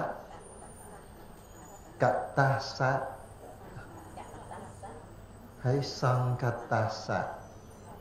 សជើងសទៅតាមន័យហ្នឹងដកឃ្លាទៀតដកឃ្លានេះសារណੰនេះសារណੰសជើងសណាណសអងដកឃ្លាទីទឹកនិសារណੰ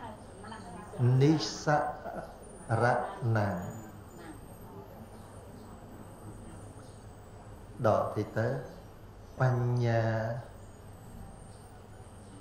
បញ្ញាយេ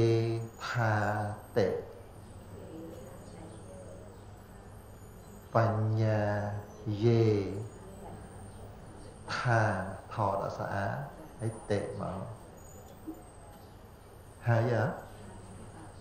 ស្អាហើយតេមកហើយអជួយមើលខ្ញុំអានថាអ្វីដែរយសមាចខោភិក្ខវេអថេអជាតាំងអភូតាំងអកតាំងអសង្ខតាំងតស្មាជាតសៈភូតសៈកតសៈសង្កតសៈនិសារណੰ បញ្ញាយេថាតេប្រែមនាលវិខុទាំងឡាយចាំណាឲ្យតែលឺសូររឿងព្រះនិព្វាននឹកឃើញឃ្លាហ្នឹងតែមនាលវិខុទាំងឡាយដកឃ្លាបន្តិចព្រោះហេតុតែ ព្រោះហេតុតែដកឃ្លាបន្តិចធម្មជាតិដែលបង្កើតព្រោះហេតុតែធម្មជាតិដែលមិនកើតដកទីទៅដែលមិនមានដកតិចទៅដែលមិនបានធ្វើ ដែលមិនមានដែលមិនបានធ្វើដែលដកឃ្លានទីទៅដែលបច្ច័យមិនតតែងហើយដែលបច្ច័យ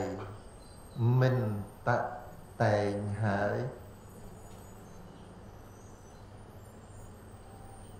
ដកឃ្លានតិចទៅតែងមាន តែងមានក្បៀសទៅដកឃ្លាបានជាបានជាការរលាស់ចេញចាកបានជាការរលាស់ចេញចាក ធម្មជាតិដែលកើត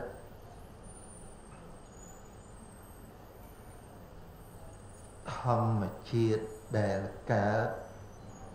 ដែលមានដែលបានធ្វើបានជាការរលាស់ចេញចាកធម្មជាតិដែលកើត ដែលមានដែលបានធ្វើដែលបច្ច័យតតែងហើយ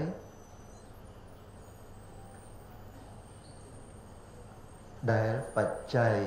តតែងហើយ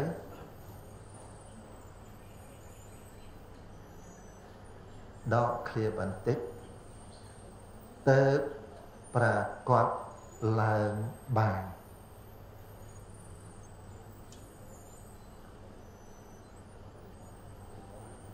ទៅប្រាកដឡើងបានខណ្ឌប៉ុណ្ណឹងខ្ញុំមើលសារថ្មីណាមនាលភិក្ខុទាំងឡាយព្រោះហេតុតែធម្មជាតិដែលមិនកើតដែលមិនមានដែលមិនបានធ្វើដែលបច្ច័យមិនតតែងហើយតែងមាន បានជាការរលាស់ចេញចាកធម្មជាតិដែលកើតដែលមានដែលបានធ្វើ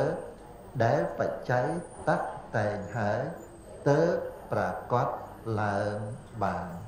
នេះជាទ្រឹស្ដីទ្រឹស្ដីបត់អត់អាចបដូរបានទេតែព្រះអង្គសំដែងប៉ុណ្្នឹងហើយតិចទៅអ្នកណាទៅរកបដូរខុសពីព្រះអង្គឥឡូវហ្នឹងឯង ចឹងយើងមើលធម្មជាតិដែលមានកើតហ្នឹងគឺជាឈ្មោះរបស់ព្រះនៅពៀនចាំមើលខ្ញុំអានសង្ខេបវិញណាមនីភិក្ខុទាំងឡាយព្រោះហេតុតែព្រះនិព្វានតែងមាន បានជាការរលាស់ចេញចាកពីខណ្ឌទៅប្រកបឡើងបានឃើញទេ ពីព្រោះព្រះនិព្វានវាផ្ទុយនឹងខណ្ឌណាអាធម្មជាតិដែលកើតហ្នឹងគឺខណ្ឌនឹងឯងឃើញទេអញ្ចឹងយើងមើលនៅក្នុងឃ្លាដែរលើក្នុងឃ្លាដែរតើមានន័យថា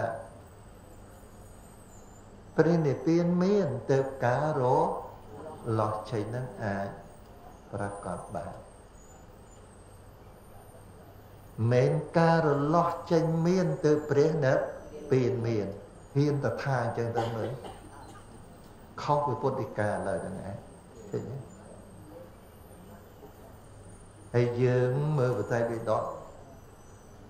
យើងអត់គិតគូររឿងហ្នឹងប្រយ័ត្នប្រយែងក្នុងខ្លួនឃ្លាទេជួនកាលមើលយកយកយកក៏តែយកមកយល់យកមកសំដែងប្រាប់គេ អត់សង្កត់នៃឲ្យបានច្បាស់ល្អព្រះអង្គទ្រង់សម្ដែងថាព្រោះតែព្រះនិព្វានមានទៅការរលោះចេញអំពីខណ្ឌមាននឹងបានន័យថាអញ្ចឹងណាគ្រូយើងអត់អាចនិយាយព្រោះហេតុតែការរលាស់ចេញមានទៅព្រះនៅពៀនមានហ៊ានទៅថានឹងបាបមិនស្ទើរទេ ឃើញបាបស្ទើរអញ្ចឹងព្រះគុណចាស់ត្រូវត្រូវមកចាំយកសេចក្តីហ្នឹងគុណចាស់ទៅគិតរឿងវិសុទ្ធិដូចគ្នាអញ្ចឹងត្រូវក្តាប់យកព្រះអ្នកពៀននឹងឯងជាទិសដៅនេះជាទិសដៅក្នុងការធ្វើដំណាវិញវិញព្រះនិព្វានជាទិសដៅ ក្នុងការធ្វើដំណាទៅមិនយើងធ្វើដំណើរទៅទៅមានទិសដៅទេមិនចិត្តទេ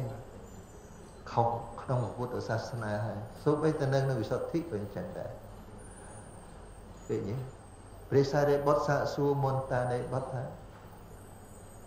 ចិត្តវិសុទ្ធិនឹងឯងជាអនុបាទេបរិនិព្វានណាទេមែនទេ ពេលនេះអនុបាទេបរិនិព្វានគឺសំដៅយកព្រះណាព្រះនិព្វានដែលជាអនុបាទិសេសៈនិព្វានណាឬក៏យើងថាសឧបាទិសេសៈនិព្វានក៏ក៏បានដែរឲ្យតែយើងយល់ឲ្យតែយើងយល់គឺអាចនិយាយនិយាយបាន សឧបាទិសេសនិព្វានហើយនឹងអនុបាទិសេសនិព្វានជាព្រះនិព្វានចំពោះបុគ្គលណាជាព្រះនិព្វានរបស់បុគ្គលណាទុនចា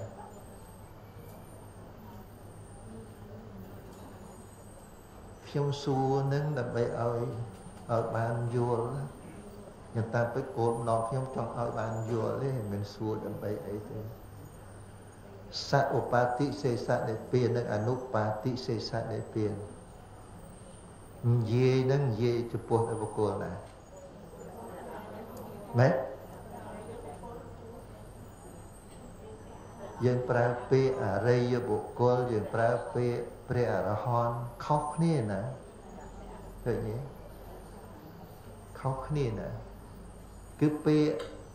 សឧបាទិសេសនិព្វានហើយនឹងអនុបាទិសេសនិព្វាននេះគឺនិយាយជាមួយដែលបុគ្គលដែលជាព្រះអរហន្តទេមិននិយាយចំពោះអរិយបុគ្គលទេឃើញទេចឹងបានភ្ជិញជាអ្នកហ្នឹងក៏យើងមិនយល់អត់ទេយើងអត់តែហ៊ាននិយាយហ្នឹងខុសតែឥឡូវហ្នឹងឯងឃើញទេពាក្យហ្នឹងគេនិយាយជាមួយនឹង បុគ្គលលោកដែលជាព្រះអរហន្តអស់នៅអាសុវៈហើយក៏ប៉ុន្តែអង្គមួយលោកមិនតាន់បរិណិព្វានទេប៉ុន្តែលោកមានព្រះនិព្វានដែលជាសក្ឧបតិសេសនិព្វានហើយដល់តែអាខណ្ឌនឹងវាបែកទៅទៅបាទអាខណ្ឌនឹងមិនខណ្ឌនឹងជាព្រះនិព្វានទេប៉ុន្តែអាខណ្ឌនឹងវាបែកទៅ កាលណាវាបែកទៅអញ្ចឹងលោកយើងនិយាយថាលោកបាននៅអនុបាទិសេសនិព្វានយើងទៅចេះប្រើព្រុញជញ្ជាអ្នកណាឃើញអញ្ចឹងក្នុងព្រះសារីបុត្របំណងបំណងនេះថាតើព្រមចរិយធម៌ ក្នុងសាសនានេះប្រព្រឹត្តទៅដើម្បីសិលវិសុទ្ធិប្រព្រឹត្តទៅដើម្បីចិត្តវិសុទ្ធិឬក៏ដើម្បីទិដ្ឋិវិសុទ្ធិអីព្រះមុនតានិបិថាអត់មែនទេគឺព្រមចរិយៈក្នុងសាសនានេះប្រព្រឹត្តទៅដើម្បីអនុបាទទាបរិណព្វានគឺសំដៅយកអនុបាទិសេសនិព្វានណោះ ហើយអនុសេសនិព្វានវាជាជាព្រះនិព្វានរបស់ព្រះអរហន្តដែលលោកបែកធ្លាយខណ្ឌទៅឃើញទេអញ្ចឹងអញ្ចឹងទីបំផុតព្រះមន្តានៃបុត្រគាត់ថាព្រមចរិយៈនៅក្នុងសាសនានេះប្រព្រឹត្តទៅដើម្បីបរិណិពៀននេះណោមិនដើម្បីសិលវិសុទ្ធិដើម្បីចិត្តវិសុទ្ធិអ ទិដ្ឋិវិសុទ្ធិរហូតដល់មេគាមេកញ្ញាណទេសនៈវិសុទ្ធិរហូតដល់ញាណវិសុទ្ធិយល់ទេចាមិនមិនព្រមចរិយធនវាពិតដើម្បីបានវិសុទ្ធិ7ហ្នឹងឯងមែនទេឃើញទេនេះយើងយើងមកចាំអាទិស្ដីនឹងឲ្យចប់ដែលយើងកត់មិញយើងយល់ដែរធ្វើម៉េចកុំឲ្យយក សង្កតធរឲ្យថាដូចជាព្រះណែពៀនកុំកុំកុំធ្វើឲ្យកុំកុំពីព្រោះអសង្កតៈដែលជាព្រះនិព្វានជាទិសដៅដែលយើងត្រូវទៅដល់ហើយចំពោះវិសុទ្ធិអានេះជាដំណើរតាជាដំណើរតាហើយដំណើរនឹងទៅទៅថាជាព្រះនិព្វាននេះកើតយល់យល់ទេអញ្ចឹងឃើញទេ ជាបដិបទាតាជាសង្ខារធរតាហ្នឹងដែលមិនមែនជាព្រះនិព្វានអញ្ចឹងក្តាប់ព្រះនិព្វាននឹងឲ្យជាប់កុំឲ្យកុំឲ្យយកធរដតេទៅច្បោកច្បល់នេះអញ្ចឹងមុនតានៃបនលោកឆ្លើយនឹងវាត្រូវដល់កពូលមកបានជាព្រះសាបុត្រវិជាចុះព្រមចរិយធរ នៅក្នុងសានិសាសនានេះទៅដើម្បីញាណទស្សនវិសុទ្ធិឯថាមែនសួរណាវិសុទ្ធិណាក៏មិនមែនវិសុទ្ធៈវិសុទ្ធិណាណាមិនមែនអញ្ចឹងលោកអភិព្រមចរិយធម៌ដើម្បីអីថាដើម្បីអនុបាទេបរិណិពានអញ្ចឹងព្រះសាស្ត្រសួរសាដាវិញអញ្ចឹងសិលវិសុទ្ធិនឹងជាអនុបាទេបរិណិពានទេថាមែនទេឃើញទេ ឃើញទេព្រោះព្រោះយើងដឹងព្រះនិព្វាននេះវាផ្សេងឃើញទេយើងក្តាប់ឲ្យចាស់ហើយតលោលោមកយល់តតឹងទឹះជាមួយនឹងទ្រឹស្ដីដែលយើងកត់កត់មិញត្រូវហ៎អរិយវៈមានទៅព្រះណាពៀនមានអឹងអានឹងកត់មែនតើណាកត់ទៅគិតរឿងអីក៏ខុសដែរទៅគិតនិយាយរឿង ការប្រតិបត្តិនិយាយពីរឿងព្រះនិព្វាននិយាយពីបដិបត្តិខុសតែលើនឹងឯងពីព្រោះយើងកែប្រែទ្រឹស្ដីរបស់ព្រះអង្គហើយអញ្ចឹងយើងទៅបញ្យល់អីក៏ខុសដែរបញ្យល់យ៉ាងម៉េចក៏ខុសដែរអ្នកកាន់តាមខុសខុសជាមួយនឹងទាំងអស់តែហ៊ានតែហ៊ានយកហ៊ានយកទ្រឹស្ដីរបស់ព្រះអង្គសម្ដែងអញ្ចឹងហើយកលាស់យកពីក្រោយមកដាក់មុខ យកពីមុខមកដាក់ក្រោយវិញអត់បានទេអត់បានទេអញ្ចឹងព្រះសាស្ត្រលោកសាកសួរអញ្ចឹងវិសុទ្ធិទាំង7នឹងឯងជាអនុបាទេបរិនិព្វានថាមែនទេអញ្ចឹងបើសួរបើសួរទៅមែនមែនមែនមែនណាអញ្ចឹងយ៉ាងម៉េចទៅវិញអត់ឲ្យអាត្មាយល់សេចក្តីនឹងយ៉ាងម៉េចទៅវិញ ឃើញថាប្រពៃព្រមចរិយធម៌នៅក្នុងសាសនានេះដែលប្រយោជន៍ដើម្បីវិសុទ្ធិហើយសួរថាសួរថាអញ្ចឹងវិសុទ្ធិនឹងឯងជាអនុបាទេបរិនិព្វានថាមែនទេអញ្ចឹងឲ្យអាត្មាយល់មិនទៅវិញអញ្ចឹងបានព្រះមន្តានិបត្តិលោកព្រះអរហន្តលោកអត់ចេះច្រឡំទេលោកឆ្លើយអត់ចេះច្រឡំទេព្រោះធម៌ហ្នឹងលោកបានត្រាស់ដឹងលោកបានឃើញអត់ចេះច្រឡំដូចយើងនេះ គ្រាន់តែមើលគ្រាន់តែអានគ្រាន់តែគិតនឹងមិនដូចទេព្រះអរហន្តលោកអត់ចេះច្រឡំទេឃើញទេ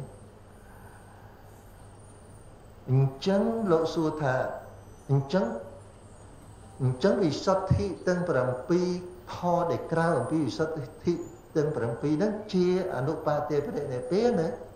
បានព្រះមុនតែបើសិនតែធម៌ខាងក្រៅហ្នឹងជាអនុបាទ បាទេបរិនិព្វាន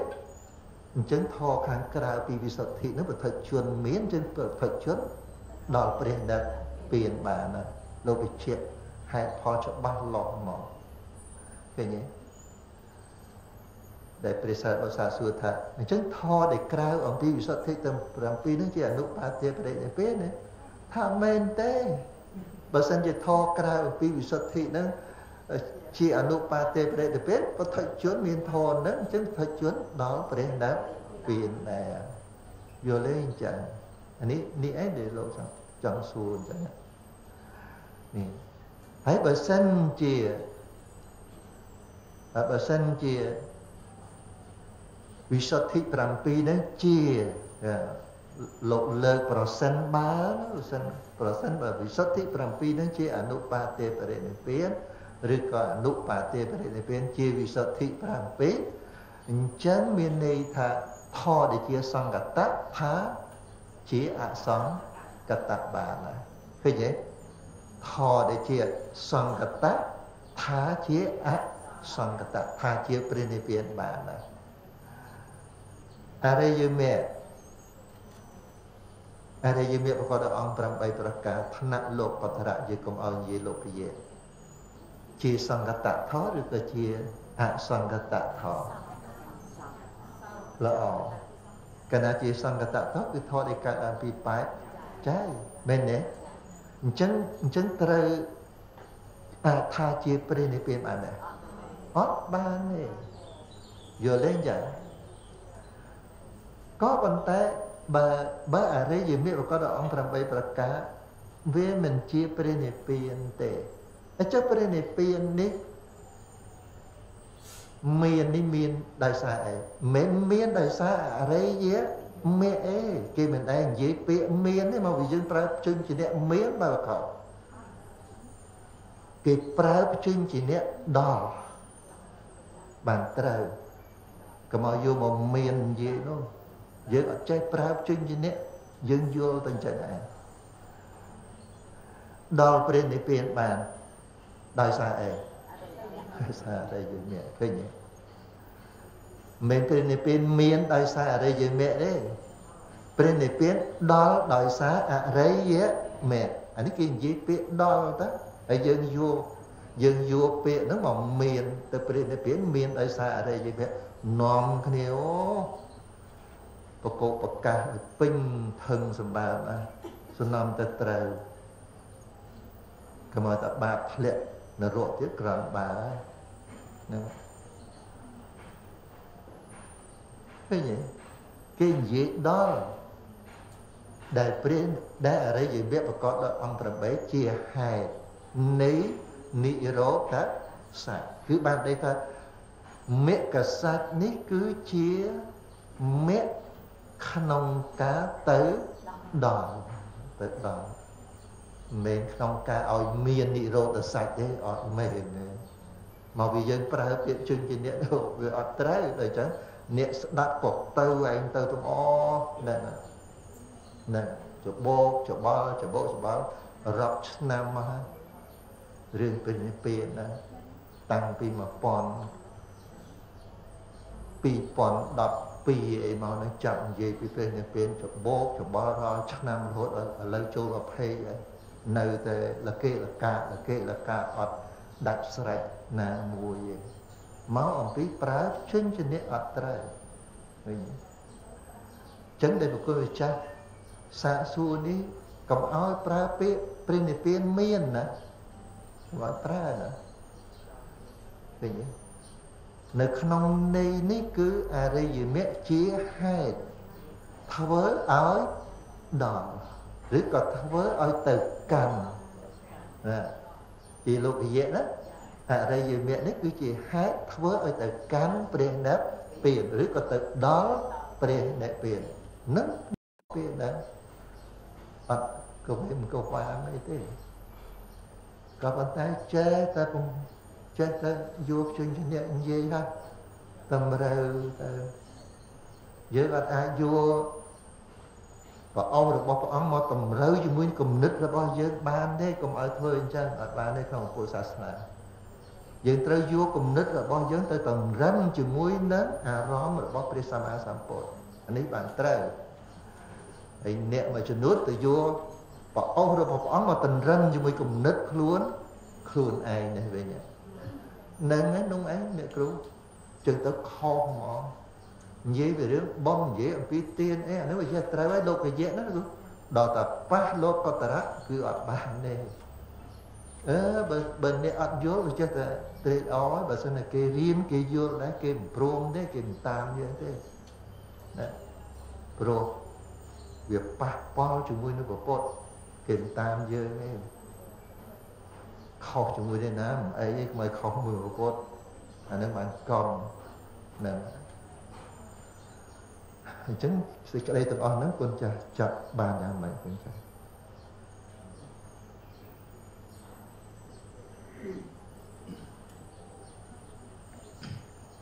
ណាសូមណាតែក៏ដូចទេក្នុងការពន្យល់ក្នុងសេចក្តីហ្នឹងណាគ្រូពន្យល់ច្បាស់ក្នុងរដ្ឋវិនីសោតហ្នឹងគឺ មានសេចក្តីខ្លឹមសារយកទៅត្រូវហើយក៏លើក្នុងនៃដែលនិព្វានមានទៅការលោះចោលហ្នឹងហើយមានហ្នឹងហ្នឹងអញ្ចឹងគឺទោះបីយើងពោលនៃមានអីដូចថាណាដូចថាដើមឈើណា មួយហ្នឹងវាវាពេលបីដូចជាខណ្ឌ5អញ្ចឹងហើយកលេសអីហ្នឹងពេលបីដូចជារឹសឬក៏គល់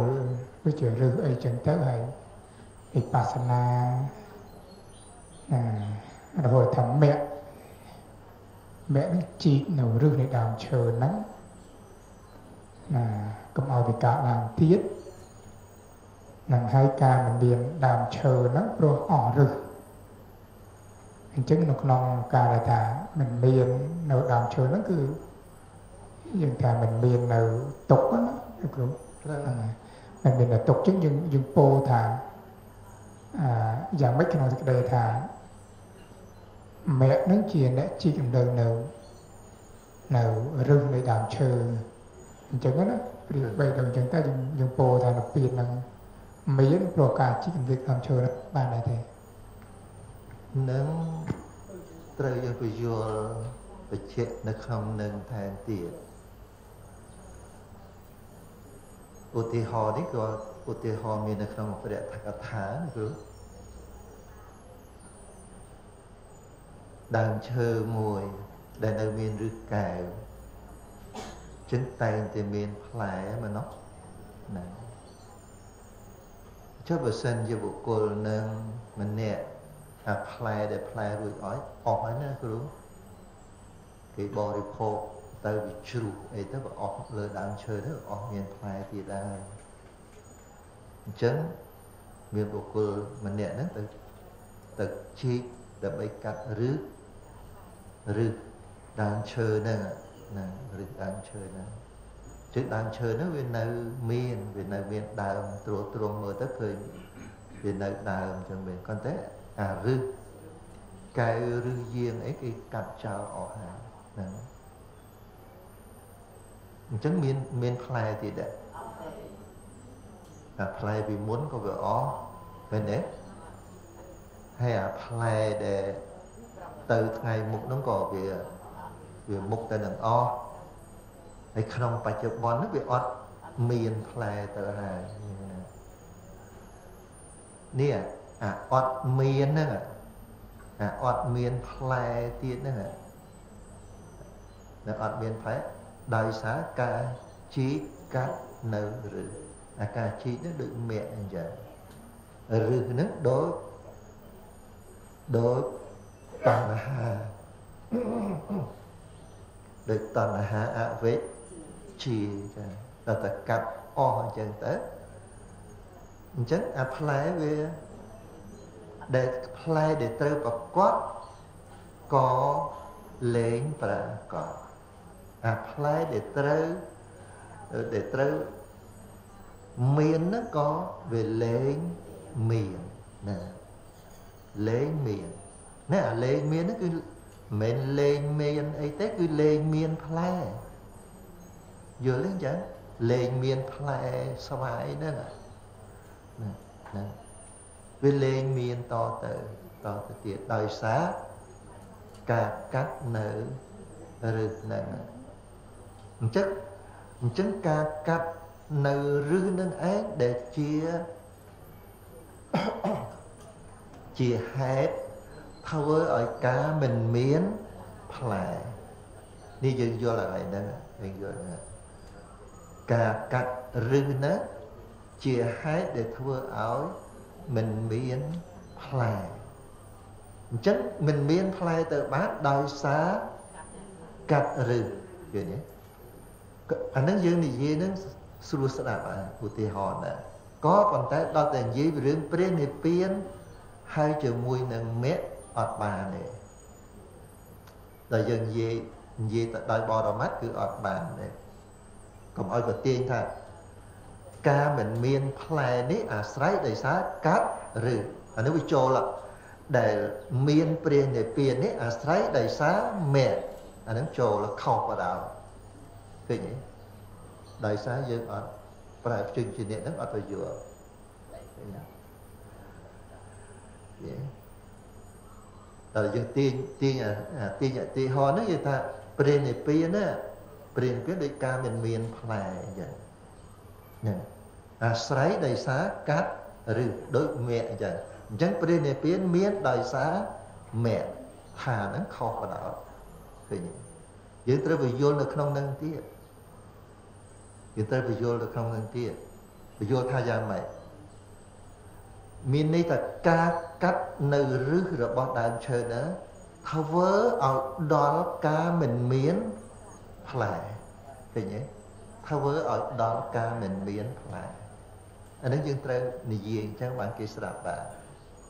យល់អញ្ចឹងអាការដែលអត់មានផ្លែហ្នឹងវាមានស្រេចបាត់ហើយក៏ប៉ុន្តែដោយសារយើងអត់កាត់ឬតានឹងបានវាចេះតែមានបានចេះតែមានយល់ទេចឹងដល់តែយើងកាត់ឬបានវាអា ការកាត់ឬនេះបណ្ដាលឲ្យដល់ការមិនមាននៅផ្លែការមិនមាននៅផ្លែនេះថាតែប៉ុណ្្នឹងអត់បាក់ថាប៉ុណ្្នឹងចប់ហើយអត់មានកុំកុំបច្ចេកបញ្ចូលអត់មកទៀតណាឲ្យដល់ការមិនមានផ្លែហើយគេសួរថាការមិនមានផ្លែហ្នឹងមិនមានផ្លែពីអតីតអីមិនមានផ្លែក្នុងអនាគតអីមិនមានផ្លែក្នុងបច្ចុប្បន្ន ណាបើគេសួរហ្នឹងថាអត់អីអត់បានផ្លែហ្នឹងមិនមែនផ្លែតៃតបច្ចុប្បន្នអនាគតទេក៏ប៉ុន្តែផ្លែណាដែលវាប្រុងប្រកបក៏វាលែងប្រកបផ្លែណាដែលវាត្រូវកើតលែងកើតវាលែងឲ្យកើតអាហ្នឹងអាហ្នឹងបានវិញហ្នឹងគេវាយល់អញ្ចឹងណាគុណគុណចា៎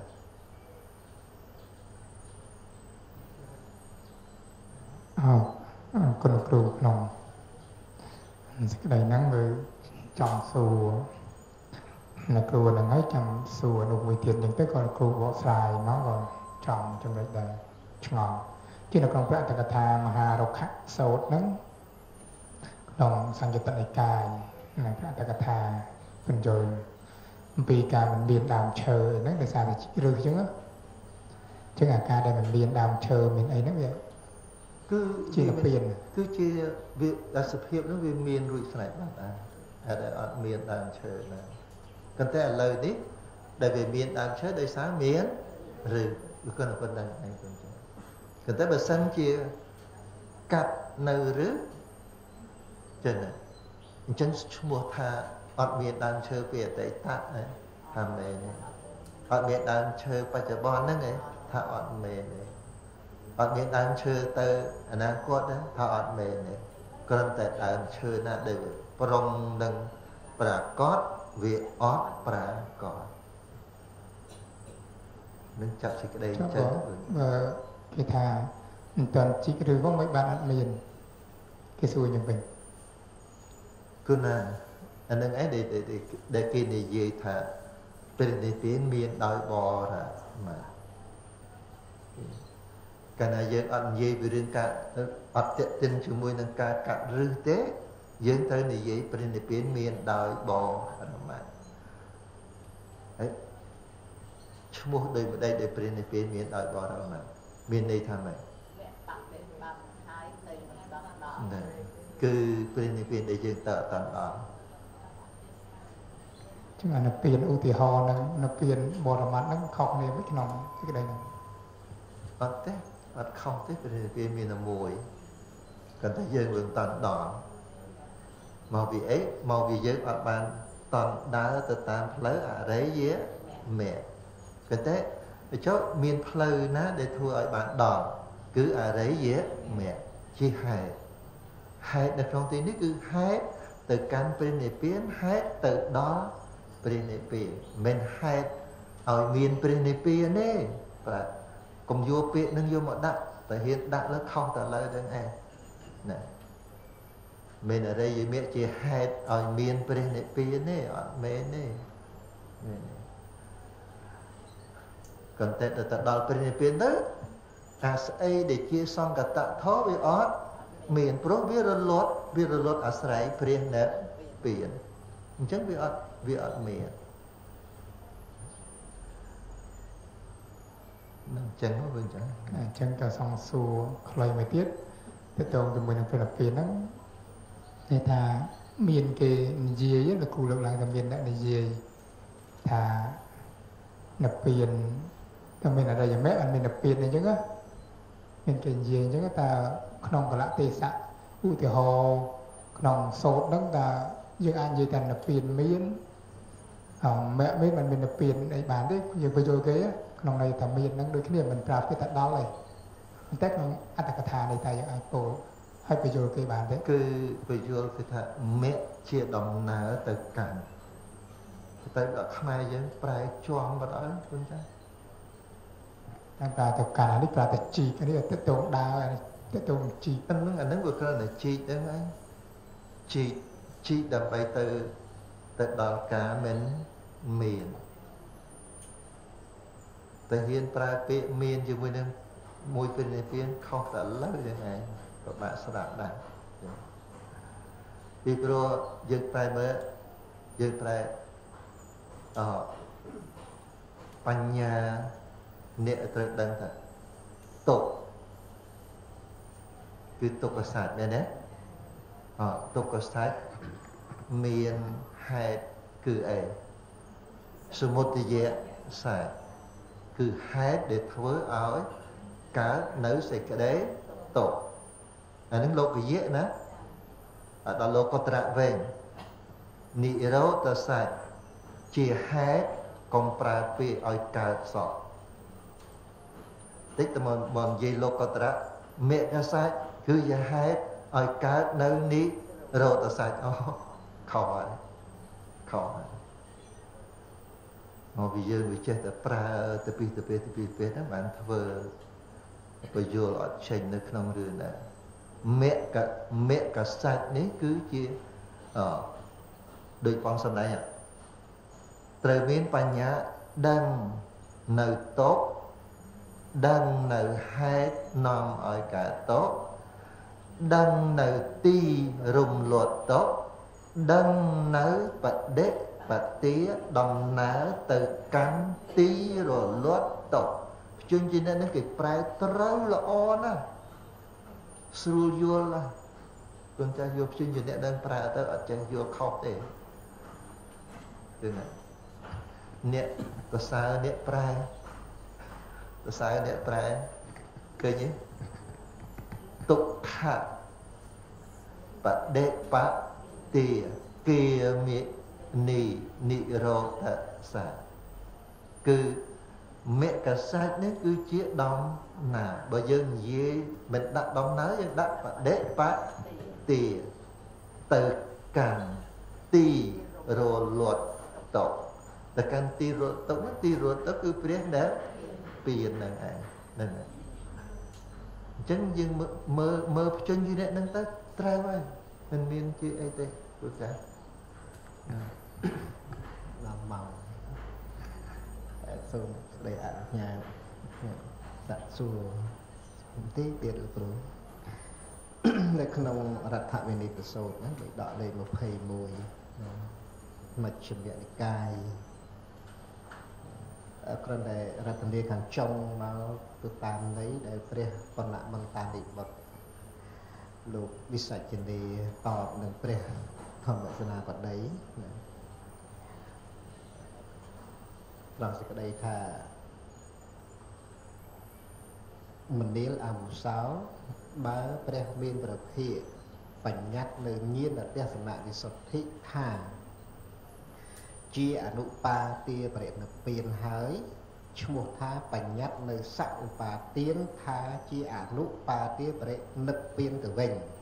នោះសេចក្តីសរុបខាងចុងហ្នឹងបានតបន្តិចទៀតដែលត្រង់ចម្ងល់ហ្នឹង មនាលអវុសោបើអនុបាទាបរិណពៀនក្រៅអំពីធម៌ទាំងនេះហើយបទជនក៏គង់បរិណពៀនបានមនាលអវុសោព្រោះពុទ្ធជនក្រៅអំពីធัวទាំងនេះឯងអត់នៅក្នុងសេចក្តីហ្នឹងដែលព្រះបណ្ណមន្តាននិបុត្រឆ្លើយតបជាមួយនឹងព្រះធម្មសេនាបតីហ្នឹងលោកលោកលោក ឆ្លើយដូចបានអានមិនចឹងគឺក្រៅក្នុងន័យថាបើអនុបាទាបរិទ្ធភាពក្រៅអំពីធម៌ទាំងនោះបានន័យថាអនុបាទាប្រេតពៀននោះក្រៅពីវិសុទ្ធិហ្នឹងឯងគ្រូដែលថាក្រៅពីធម៌ទាំងនោះណាក្នុងន័យហ្នឹងអញ្ចឹងបឋមជនក៏គង់ប្រេតពៀនបានហើយបានព្រះអត្តកថាលោកបញ្យល់ថាព្រោះបឋមជនមិនមានវិសុទ្ធិទាំង7សូម្បីតែ សីលវិសុទ្ធិក៏មិនមានហ្នឹងហើយអញ្ចឹងសរុបទឹកនៃនឹងមកដូចជាដូចជាក្នុងន័យថាអឺអនុបាអាវិសុទ្ធិទាំង7បាទអនុបាទាប្រេនិព្វានបាទអនុបាទាបរិណពៀនហ្នឹងគឺមិនក្រៅមិនដតីមិនក្រៅទេមិនអំពីក្រៅវិសុទ្ធិ7ហ្នឹងអាអាក្នុងន័យហ្នឹងយើងយើងចង់កន្លែងហ្នឹងឯងដែលខ្ញុំស្ដាប់អ្នកសំដែងបទច្រើនជាទីបំផុត ហើយខុសក៏ប៉ុន្តែរកឱកាសនិយាយគ្នាស្ដាប់អត់បានហ្នឹងគឺថា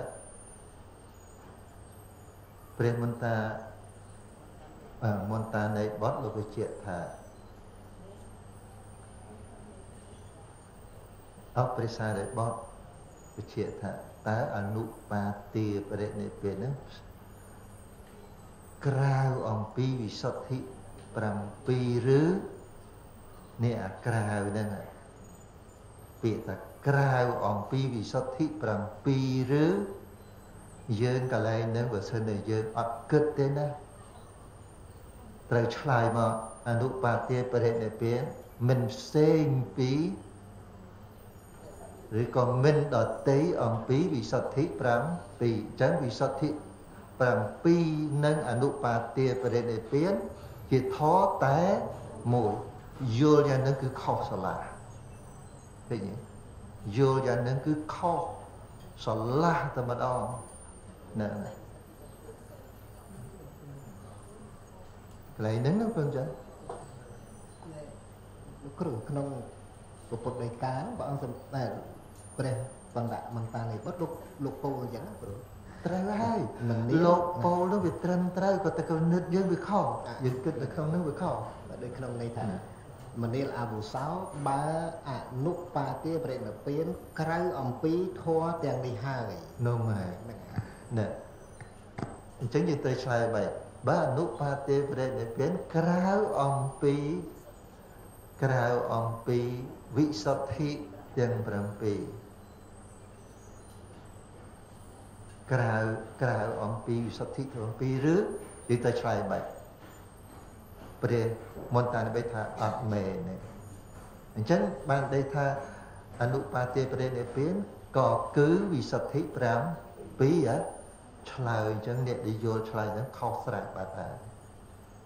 ខុសស្រេចបាត់ហើយដូចជាដូចជាខណ្ឌអីណាលោកសួរអញ្ចឹងណាពាក្យ ព្រះនិព្វានមានផ្សេងពីខណ្ឌពាក្យហ្នឹងបើយើងមិនគិតទេខុសតែលើហ្នឹងឯងឃើញទេផ្សេងអំពីខណ្ឌណ៎ព្រះសារបុត្រសួរយេបកៈអញ្ចឹងសួរតើព្រះអរហន្តផ្សេងពីខណ្ឌណាថាមែនទេណាហើយយដល់អញ្ចឹងទៅអ្នកមើលយកអញ្ចឹងខណ្ឌហ្នឹងគឺព្រះនៅ ពៀនព្រះនៅពៀនហ្នឹងគឺខណ្ឌយល់ហ្នឹងខុសស្រេចបាត់ទៅបដៅអញ្ចឹងបានអ្នកខ្លះនិយាយព្រះនិព្វានមិនផ្សេងពីខណ្ឌខណ្ឌមិនផ្សេងពីព្រះនិព្វានបើសិនតែព្រះនិព្វានផ្សេងពីខណ្ឌមានខណ្ឌ6ពាក្យហ្នឹងចេះតែថាថាទៅទៅបងខុសខុសទៅបងតាមពិតទេតាមពិតអីខ្ញុំចង់ប្រាប់ខ្ញុំចង់ សាកឆាពាក្យហ្នឹងនៅក្នុងប្រាសាទហ្នឹង2ឆ្នាំហើយក៏តែររត់ដាក់សាកឆាអត់កើតរស់ពេលបញ្ចូលអាសាកឆាហ្នឹងក៏អត់កើតព្រះសារបុត្រលោកសាកសួរថាតើអនុបាទេព្រះនិព្វានក្រៅអំពីវិសុទ្ធិ7ឬបានន័យចេះព្រះសារបុត្រនិយាយថា ធរដែលក្រៅអំពីវិសុទ្ធិ7ហ្នឹងជាអនុបាទេបរិនិព្វានឬនេះឃ្លាហ្នឹងវាទៅចឹងវាទៅចេញអញ្ចឹងកុំឲ្យមកយកឃ្លាហ្នឹងទៅបញ្ចេញតាមត្រង់ហ្នឹងខុសតែឥឡូវណាព្រះសាយបុត្រសាកសួរថាធរក្រៅអំពីវិសុទ្ធិ7ហ្នឹងជាអនុបាទេបរិនិព្វានឬឃើញទេ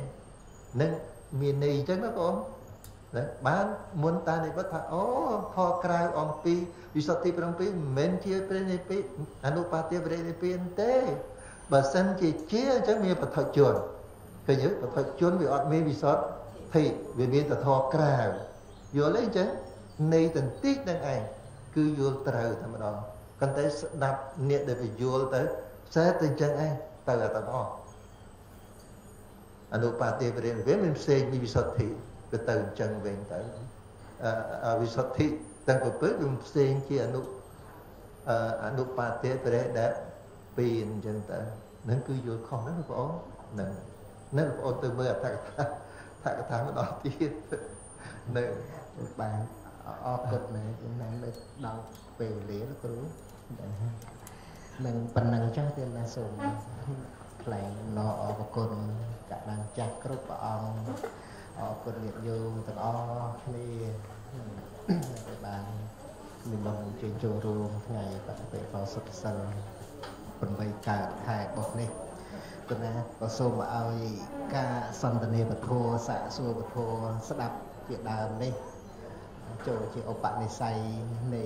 ព្រះនិព្វានគ្រប់ព្រះអង្គគ្រប់គ្នាកុំអីគ្លៀងគ្លៀតឡើយទាំងសូមអនុមោទនីទុកឯណា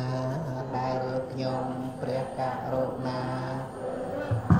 ឃ្លៀងផ្្លាត់ហើយក្នុងព្រះពុទ្ធព្រះធម៌ព្រះសង្ឃជាម្ចាស់សូមព្រះពុទ្ធព្រះធម៌ព្រះសង្ឃជាម្ចាស់ ទៅលោកដល់ខ្ញុំព្រះករុណាអ៊ីទាំងវោញាតៃណាំសុខេតាហោនតញាតយោទុក្ខបត្តាចនិតទុក្ខាភយបត្តាចនិត សោកបត្តាចនិសោកាហោនទុសពេបេបាលេណោសាធុសាធុ